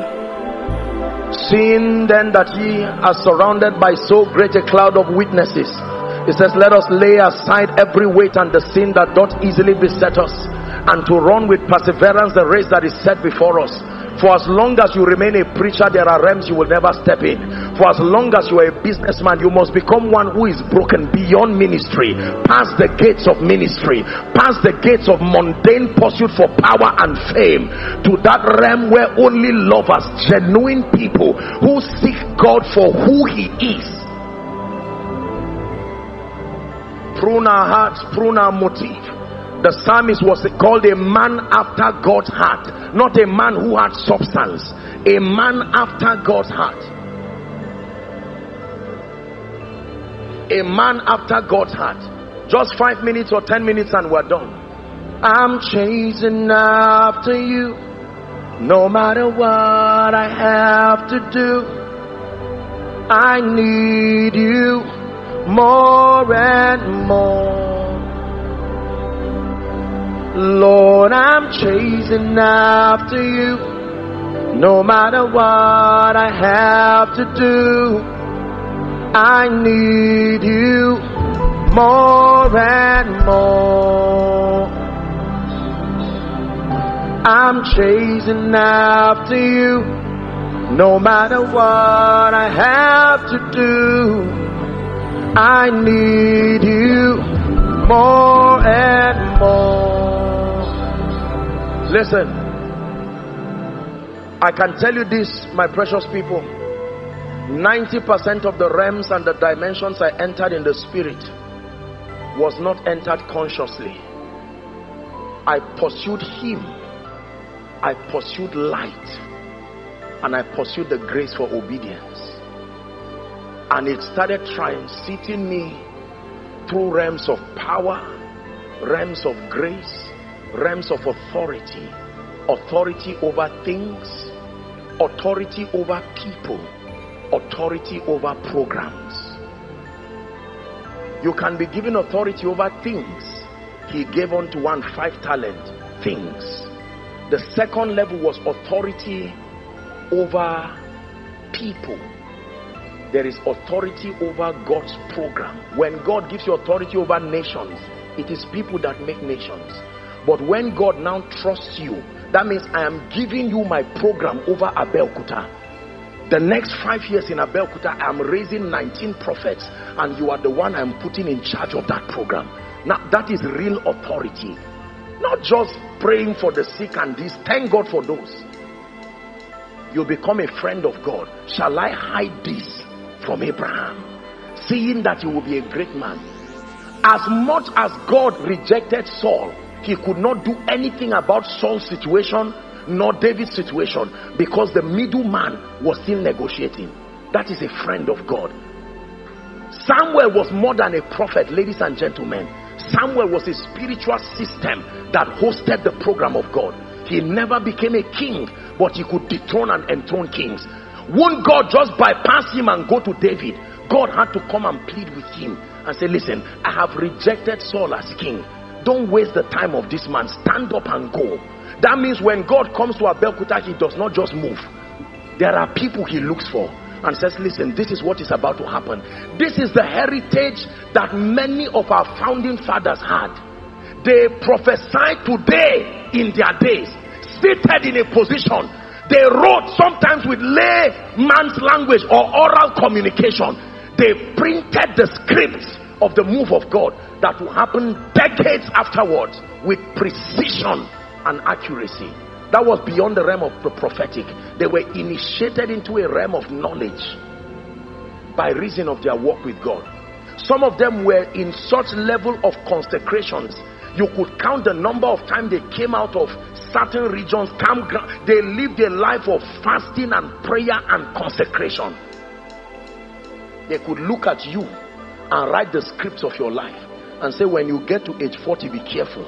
I've seen what will happen. This is more than prophecy. They were they, they worked with god and got certain blueprints. When jesus looked at nathanael and said an israelite indeed in whom there is no guile. For someone who just finished insulting jesus And Jesus' comment is that the man is innocent. We need to redefine the things that become the parameters for our celebrating success in the ministry. Thank God for the gift of the Spirit. Thank God for accuracy in terms of oratory and communication of the word. But let me tell you, those who shook the world were people who did not even have the comeliness to be desired. Read your Bible. Time will fail me to talk of Gideon and Jephthah and Barak. There are few men in the Bible whose exploit was based on certain kinds of physical things. Saul was a man of stature and a great man, very comely and to be desired. But when God was rejecting him, he did not consider that stature. There are weightier things in the spirit that God considers. I've had the privilege in recent time to travel across Africa, stirring up the fire of revival as He's granted me grace. And I can tell you, I see that formation brewing again. Abeokuta, God has come to you again. And from Abeokuta to the body of Christ. Hear me. For some of you, you lost the fervency you received last year through carelessness. You are more focused in being an emoji and your small prayer group and competing with one another to see that, look, I think our prayer group has now expanded. All that nonsense is the recipe for aborting the move of God. Above and beyond those mundane pursuits, it must be a sincere passion to press towards the things of God. You have come here tonight to receive and you will receive. You have come here to receive miracles and impartations, but my charge to you is to understand that this rock we are talking about is not just Jesus alone. The revelation of Jesus as the Christ number one, but the understanding that our ascendance in this kingdom is light dependent no amount of sympathy and emotions will corrupt this formula not even jesus not even jesus himself was exempted from this. You are where you are because of the limitation of your hunger for greater light genuine light. That was the true light. There are false lights. Lights that when you get it you expect the authority component and it does not come. It is false light. But it says that was the true light that lighted upon every man. I was talking with one of the fathers of faith recently by the privilege of god's grace. And when he was sharing with me certain things i just stood and i felt i literally felt like a child. I said it is arrogant and truly foolish for us to actually believe that these fathers were just lucky to be where they are. Most of the wisdom of the fathers is not in the pulpit it's reserved in their bowels waiting for hunger and honor to draw it out. Let me give you a real secret from accessing from a father. You will not find it in the sermons. You will find it through hunger and honor. It will take hunger to pull it out. The blessing was hiding in isaac for a long time and he kept quiet watching esau and jacob. Just believing that people will spoon feed you with the weightier deeper matters of the spirit is a joke.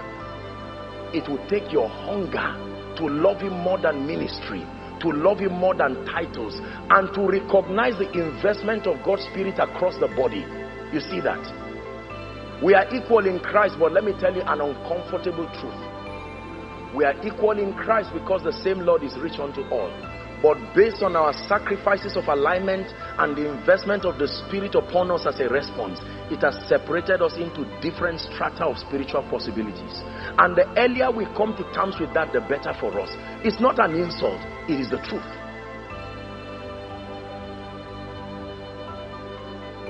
I know my level in the spirit. I know where God has brought me I know where God has taken the fathers. I will minister only to the degree of the level that God has given while trusting him to access light and wisdom from those who have it to be able to help expand my spiritual horizon. I will never fall into the temptation of pride to administer a jurisdiction that is higher than my level of grace.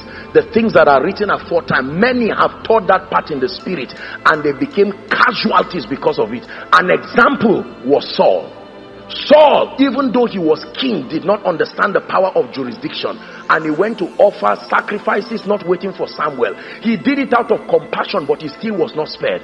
He said, Saul, you have done foolishly. Samuel spoke to him.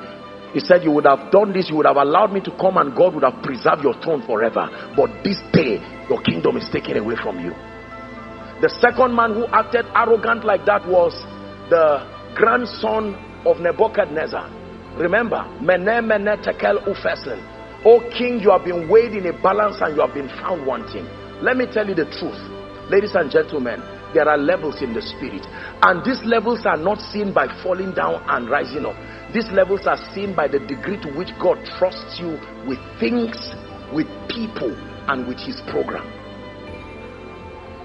There are people who have left the level of things. And for every dimension you ascend, you control what is below it too. Let me give you an instance. If Baba Adeboye comes right now, we're wrapping up. If Baba Adeboye comes right now, even if he comes without anything, because of the level of authority he has in the spirit, within 24 hours, a car will come, money will come. He does not have to tell people, I am around. There is a system that noises people are brought based on your authority. Learn this. When Jesus was born, there was a star that arose, and the Magi, those who understood astrology, they saw it. They said, This is more than geography, something is happening in the earth. There are people that step into territories and it is signified both within the realm of the spirit because of the authority that God has placed upon them.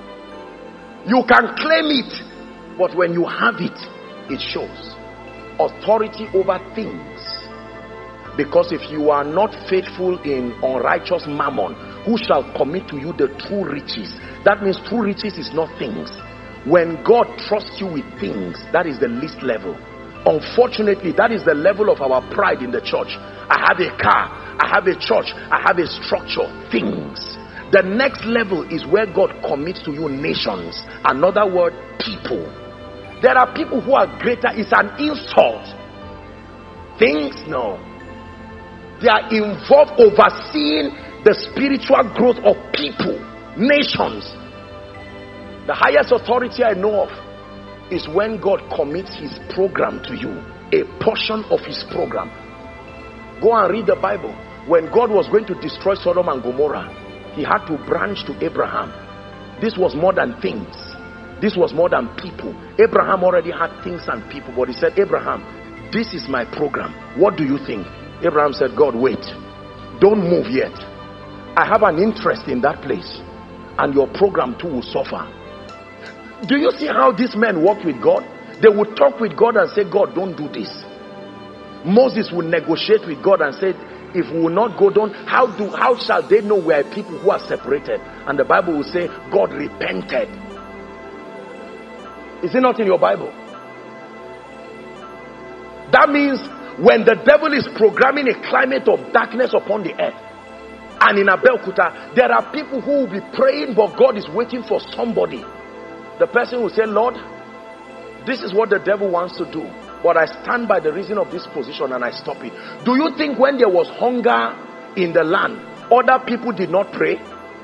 You thought other people did not pray, and yet it looked like their prayer was not answered. God was waiting for the discussion between him and Elijah.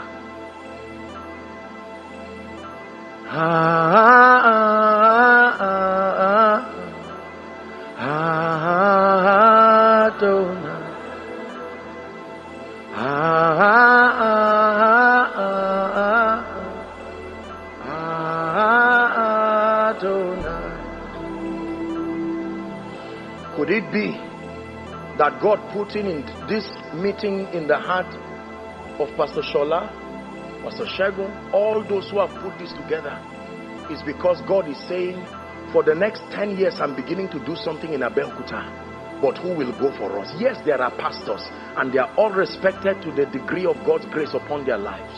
But could it be that in this season, you will be surprised that God can organize a program that has 10,000 people he will bless everybody, but he's looking for three people. There are three people. God can extend a program by two more days because the last person he's looking for did not come. That's how meticulous God can be. He left and went to Gadara to find one man, delivered that man, and went back.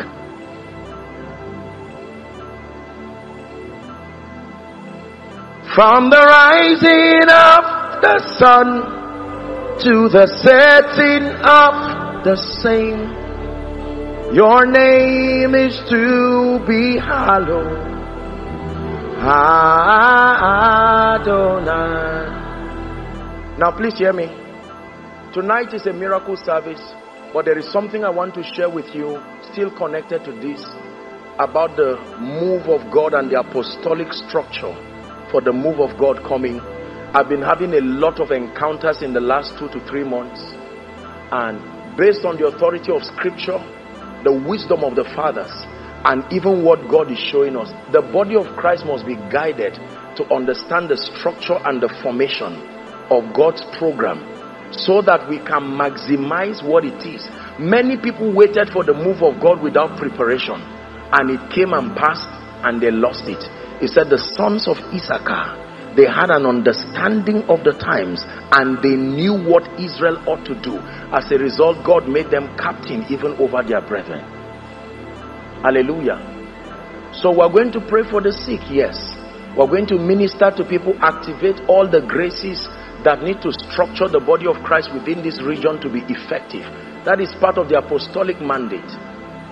However, let me tell you, deeper than all of this, I came like John the Baptist, making a clarion call. Abeokuta, the body of Christ. Don't think God has had enough people. God is still looking for men. There are many preachers. There are many prayer warriors. There are many fasting giants. There are many apostles and prophets but God is still looking for men. You need to find out the kind of man God is looking for. If you can have the time and God grants you the grace, please, I want you to search for a teaching that I did in a conference, Pastor Shola's conference, the vessel, the mandate, and the strategy. Please look for that teaching and listen to it. Listen to it with all your heart. Is it all right if we pray? Please rise up on your feet.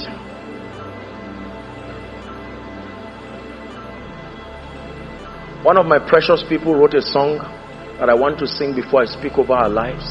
This is what I believe God is doing across the globe, and this is what I believe God is doing even in Abeokuta. No eye has seen, no ear has heard what God has prepared for me. So I submit to your work in me till Christ be formed in me. No eye has seen, nor ear has heard what God has prepared for me. So I submit to your work in me till Christ is formed in me. No eye has seen, nor ear has heard what God has prepared for me. So I submit to your work in me till Christ be formed in me. Till Christ be formed in me. Your wisdom revealed through me that your glory rests on me till your work be formed in me so I submit to your work in me till Christ be formed in me. Listen, more than looking like an apostle, if all you do is to look like an apostle, you didn't do much. If all you do is to look like a prophet, you didn't do much. If all you do is to look like a businessman, you didn't do much. The standard is looking unto Jesus until Christ. That when people look at you, you become the clearest description of the Christ in every way in character, in the outworkings of his wisdom, the outworkings of his power, the effulgence of his glory upon you. Now you become a living epistle, like the Bible says. We are going to pray two prayers. Let it be from the depth of your heart. Father, I'm tired of my current spiritual level take me to a deeper level. I'm tired of celebrating this level and this realm. Is someone praying? No matter what level and what dimension, congratulations for where you have found yourself. Congratulations for the prophetic. The word is already beginning to work in your life. Congratulations, you now have a church. Congratulations, you've now been ordained into ministry. But listen to me, ladies and gentlemen, there are higher realms. Job said, there is a path which no fowl has seen. The whelps of the lion has not even trodden there. I want you to open your mouth and pray from the depth of your heart.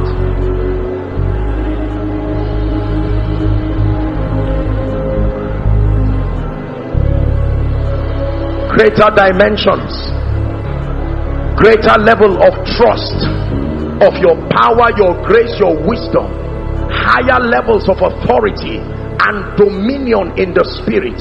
Someone is praying. Purge my heart, oh God. Purge my motives. Purge my motivation. Reorder my perception. Correct my ideas. No matter how long you have held on to age old wrong ideas, lift your voice and pray. Correct my ideas and my perceptions.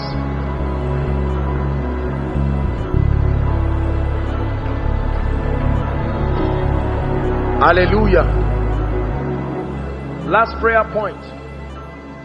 And I saw before the throne a lamb as though it had been slain, having seven eyes and seven horns.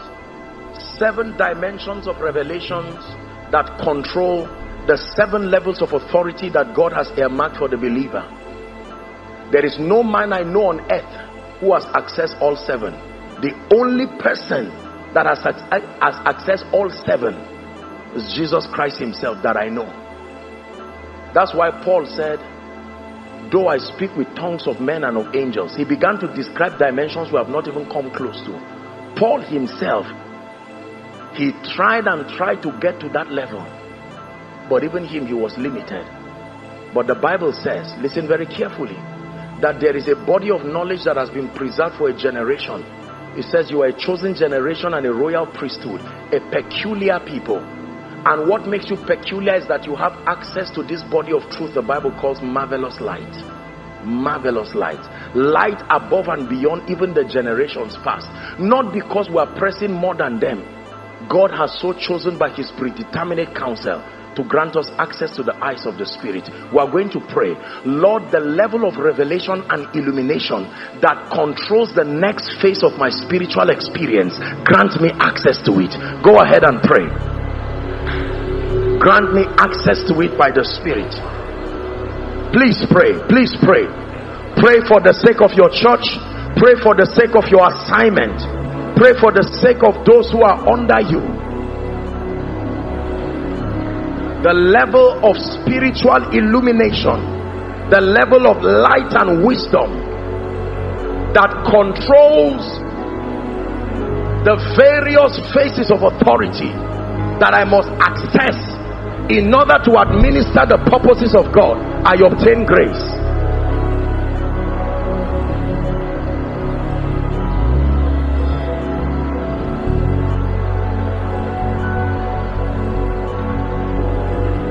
Hallelujah. Hallelujah. The three levels that we see that God desires for every man to enter was captured in the temptation of Jesus. The devil came and tempted Jesus across three things. Temptation number one, turn this stone to bread. The temptation that makes for your personal sufficiency. Things Lord, give me a car, give me a house. There is a place for that. Jesus overcame that temptation not by having them, he overcame that temptation by rising above them. You don't conquer things just by having it, you conquer things by rising above it. If you have it and you rise above it, it's a better expression of that victory. But even if you don't have it and God grants you grace to rise above it, you conquer it. He said, It is written, Man shall not live by bread alone when you speak to a hungry man he's not thinking of a temple and he's not thinking of this. I'm trying to show you these three levels. Man shall not live by bread alone. Satan said i understand.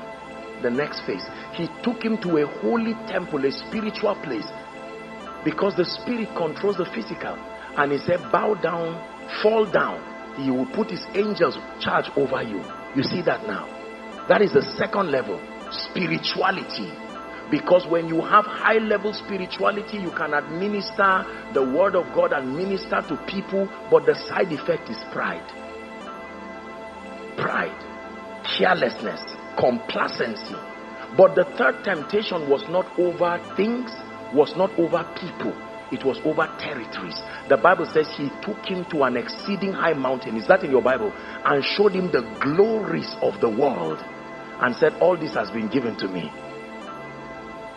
He was giving him the things that he was going to get by dying and resurrecting. But the only challenge is if Jesus collected it, he will have it alone. Jesus didn't have it alone. After all, everything was his own. The reason why he rejected that temptation was he did not want to rise alone. He had you in mind. So he relinquished what he had and came and went with you in covenant. Hallelujah.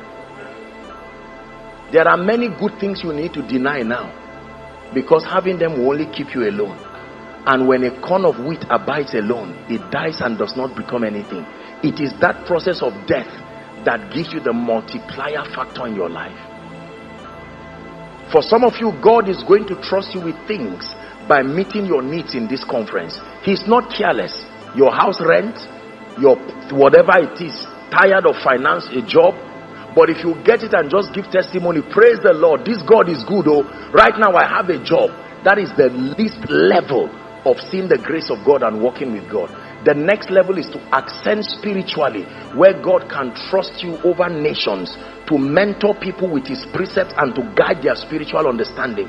Jeremiah 3:15 and I will give you pastors or shepherds according to my heart that they will feed you with wisdom and with understanding. But the highest level is where God gives you authority and trust over his program. That means there is something I'm doing in Abeokuta. Man of God, raise me five prophets, 10 evangelists, 15 kingdom financiers. This is my program. And you can say, Lord, count on me. Give me three years. You have mastered the art of things, people. Now you can stay in God's program. The Bible says, and David served his own generation. Father, we thank you for all of the speakers who brought your word from the throne of grace from early this morning even up till now. Thank you for their lives, their sacrifices, and the wisdom that has proceeded from their walk with you. Thank you for that which you have taught us right now, even by your spirit. Lord, I am praying that beyond the words of a man, your spirit will begin to mold within us the character that reflects Christ in truth. I pray for you in the name of Jesus that every level that you are, may God himself measure a thousand cubits and take you higher by light that everything that has swallowed your passion for spiritual things, your passion for light, your passion for illumination, either pride, complacency, carelessness, arrival mentality, I erode those distractions out of your life in the name of Jesus Christ. And I plant in you a fresh hunger as though you never knew him before in the name of Jesus Christ. I also prophesy over your life that the prophecy connected to your life for this generation will not be aborted. In the name of Jesus Christ. A final word before I return to my seat. Please make sure you invite everyone. I'm lending my voice with pastor and the organizers. Please invite everyone tonight and let us share fellowship with the Lord. The Lord bless you and honor you in Jesus' name. Hallelujah.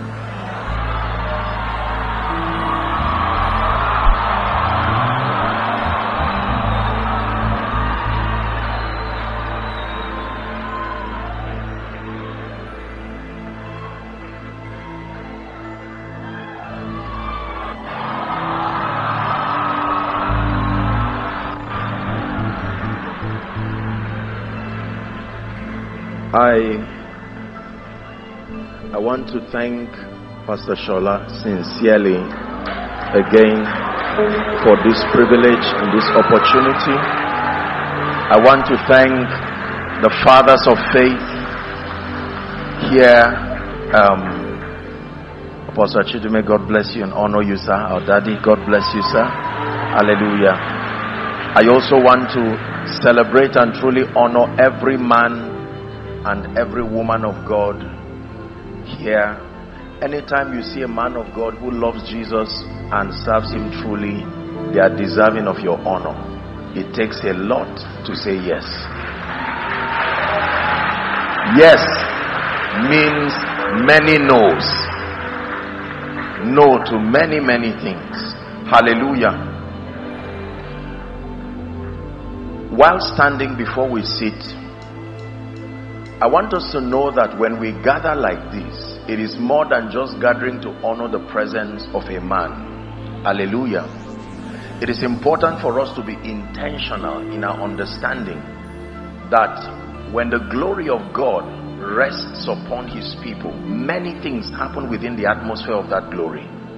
Principally the revelation of Jesus, but then in addition to healings, miracles. By the way, where is the lady that had her child? Come.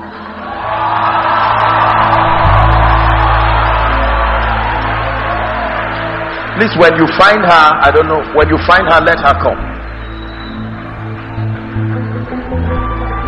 Hallelujah. And then I want you to listen very carefully. One of the greatest blessings of a prophetic and a miracle service like this, as far as I am concerned, that's all right if, if she's not if she's not um, within um, hallelujah.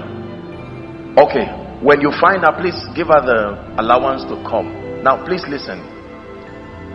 Every time I have the privilege of ministering to God's people like this, more than receiving the miracles, my greatest my greatest assignment is to expose God's people to that atmosphere of his glory. Cause when the glory comes, there'll be no words to say. oh. oh, oh.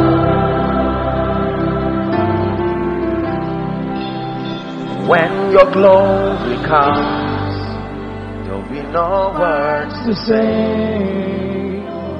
Oh. The glory of God is a definition of His weightiness, His entirety. Every component that makes Him God, His wisdom, His power, His favor. When you expose people to the atmosphere of His glory, they never leave the same. Some of them will live with wisdom or heightened wisdom. Some of them will live with favor. Some of them will live with all kinds of miracles. When the rod was placed in an atmosphere of that glory, even though it didn't have root to the earth, it budded in 24 hours. When the glory comes, there'll be no words to say. oh. oh, oh.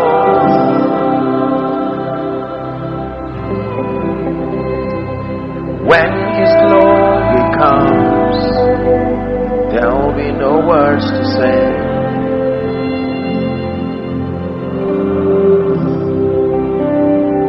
From the beginning of this conference, many of you have endured making sacrifices from one speaker after another, one vessel after another.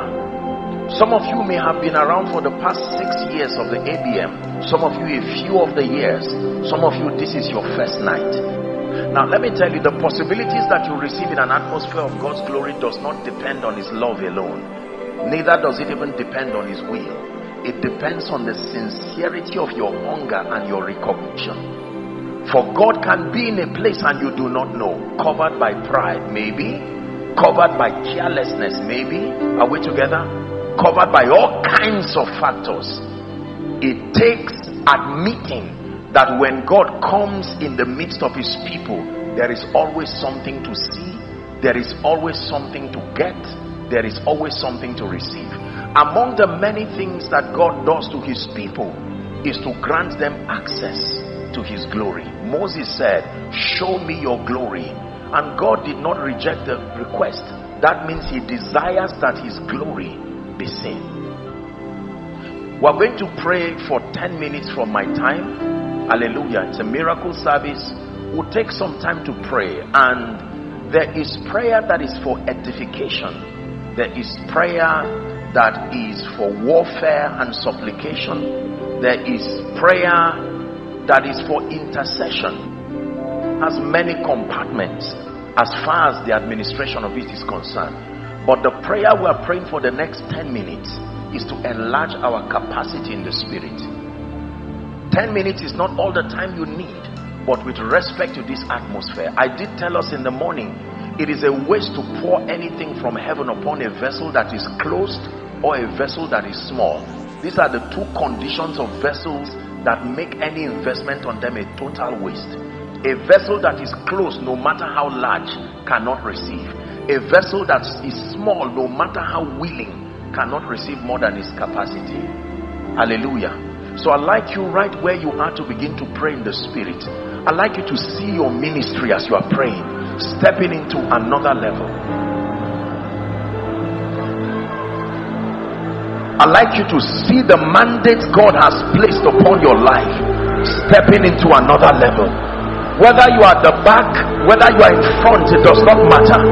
I'd like you to see your music ministry being part of the cutting edge tools that God will use in this end time. I'd like you to see the prophetic mandate that is upon your life that perhaps is at its infancy fan to flames to dimensions where it can serve the purposes of God across nations someone is praying praska debeleto sasiata.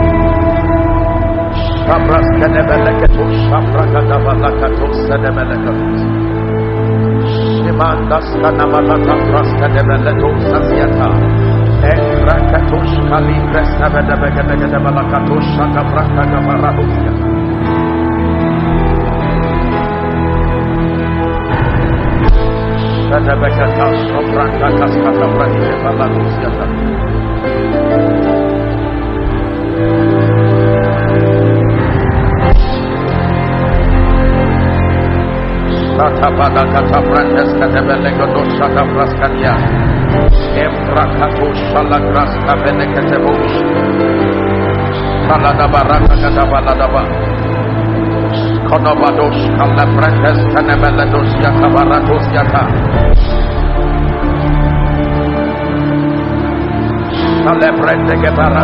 ba.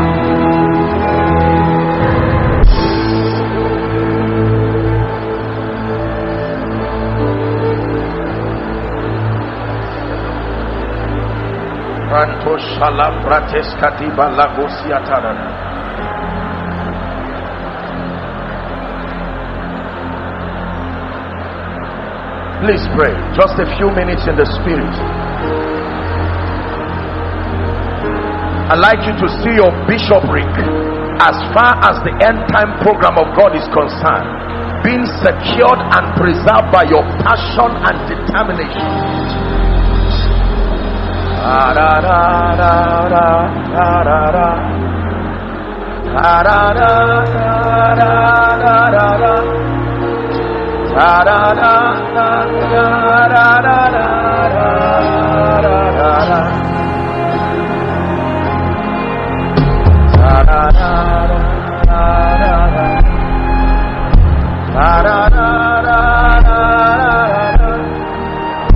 Out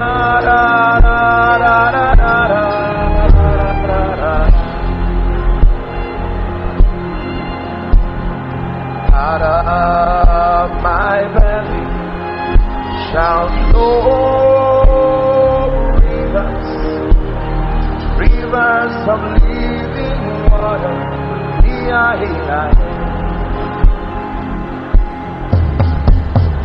Out of my belly shall flow rivers, rivers of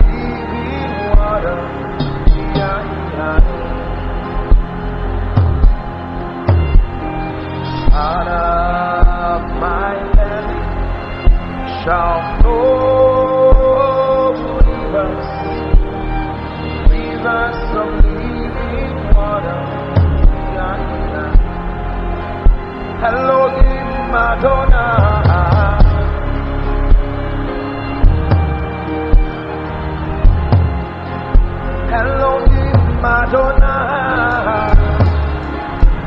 Elohim Madonna. Elohim Madonna. Shate Elohim Adonai.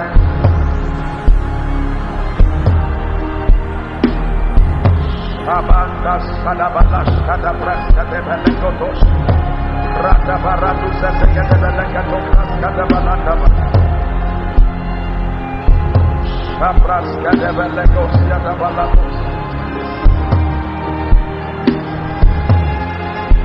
Just two more minutes in the spirit.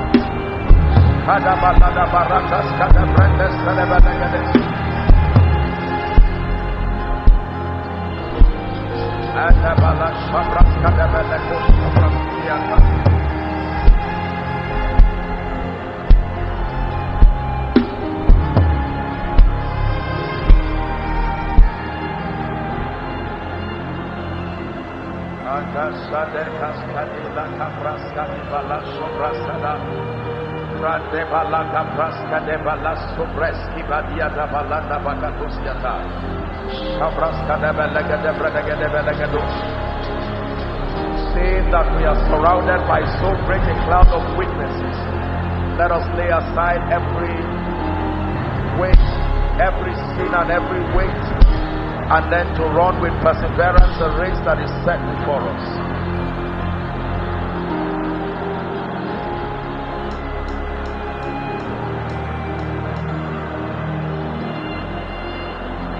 In the name of Jesus. In the name of Jesus. In the name of Jesus. In the name of Jesus. Now, please listen.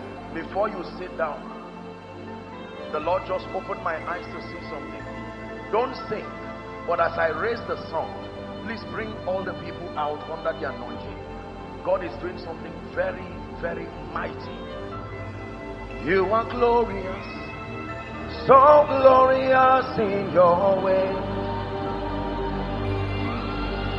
You are powerful, so powerful in your ways. You are awesome, so awesome in your ways. Just bring them out under the anointing. You are powerful, so powerful in your ways. Oh, that's that our woman. Just a moment. You are powerful, so powerful in your ways. There is a spirit of glory that is resting upon people. Your ministry and your life will not be the same. Not this night.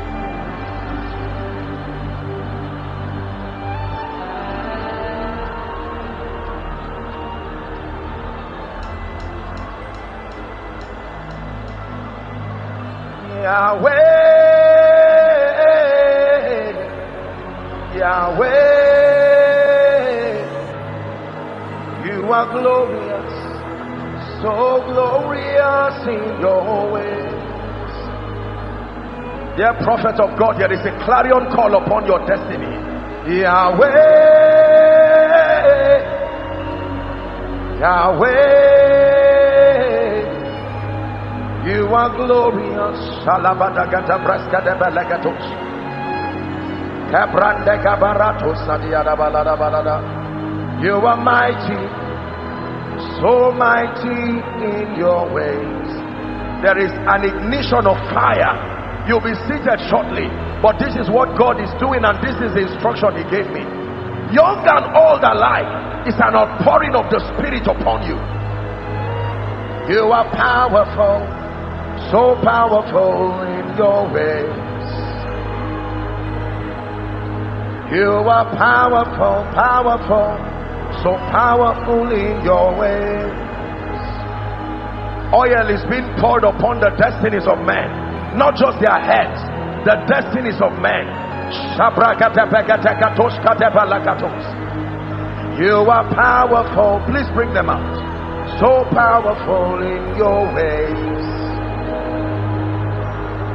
You are mighty, so mighty in your ways. You can be dangerous, so dangerous in your ways. You can be dangerous, so dangerous in your ways. Shall I get it? Oh, oh,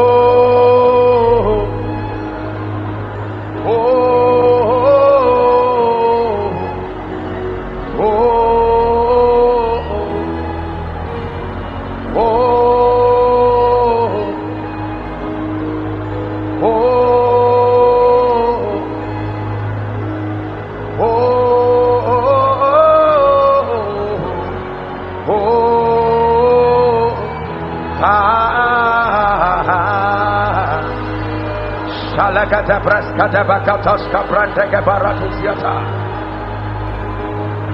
Ah,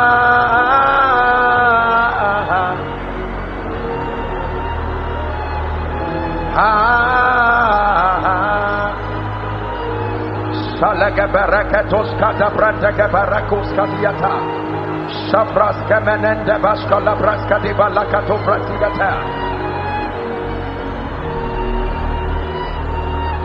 I'm hearing the word selected and appointed for a time as this. There are people you have been selected by God. That unction is coming upon you right now. Selected for your families, selected for your regions. Some you've seen it in dreams, others in visions, but this is a night. Here in Abeokuta, that mantle of your destiny is locating you. Bring them out. Hey, Shaneke Stadiata, selected and appointed for a time as this, others for a generation, others the Josephs of the family.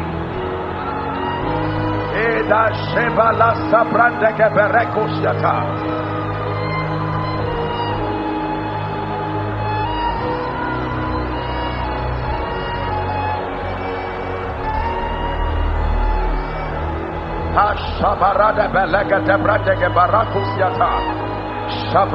Bazivata. Young and old, male or female, the spirit of grace, selected and appointed. There are people, there are mantles upon you. You do not even know. God is bringing you out by His Spirit.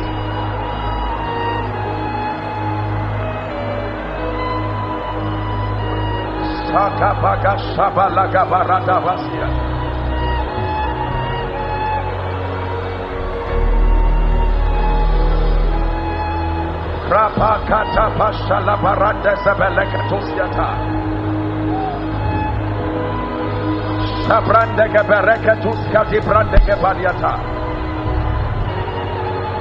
Hallelujah. Now please hear me. Hear me. The Lord is ministering to me that there are people here. A spiritual season is coming to an end in your life, and another one is opening up. It's, it's a new level of grace and a new level of fire. For some, you are ministers of the gospel. God brought you here because there is a dimension of grace. Ministers of the gospel. I'm hearing this particularly for preachers, people who are ministers of the gospel. The mantle that has been looking for you, I direct it to you. I direct it to you. Male and female, access that mantle in the name of Jesus. Access that mantle by the power that raised Christ from the dead.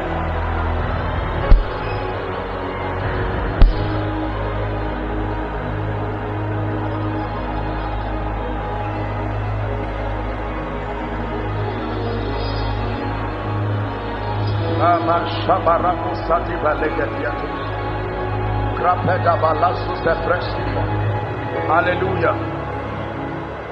Hallelujah. In the name of Jesus Christ.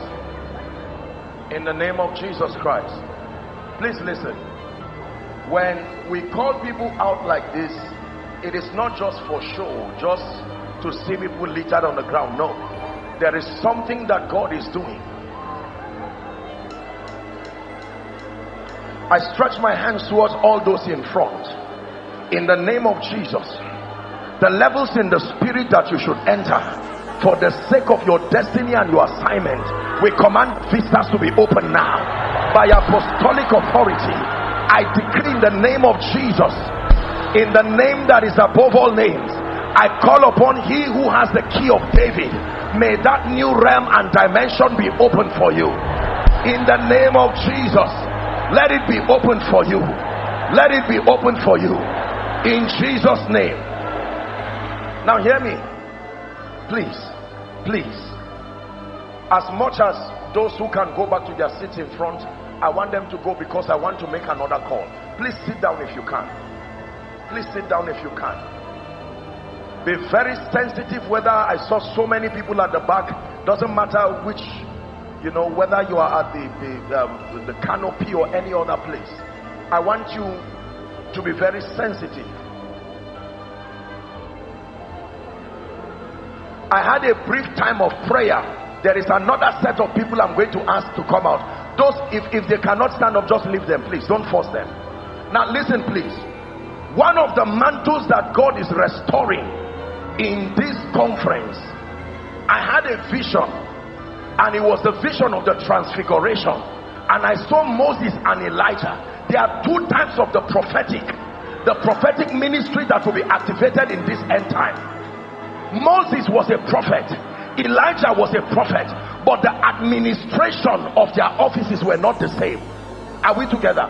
all of them were mandated to preserve the purposes of God in a generation. Elijah preserved from Jezebel and Ahab. Moses preserved from Pharaoh. And all of them required signs and wonders. It was a mantle and a rod that helped them to preserve the purposes of God. God is restoring an ancient prophetic heritage. Please hear me. I'm speaking to you by the Spirit many grandfathers some of you come from physical paternal families that carry the heritage of the prophetic but because you are dull of seeing and your ears do not hear they just told you a story that your grandfather was part of those who would visit these men at the campground and you have been having visions of these experiences one of the mandates tonight is to stir up particularly this prophetic dimension again we need it not just for show don't be afraid of the prophetic because of the little abuses here. There is going to be a steering, a steering of that prophetic mantle. For some of you, that mantle has been hovering around whole families, and everybody has rejected it. Everybody has rejected it. I pray that you are not the one to reject it tonight. Hallelujah.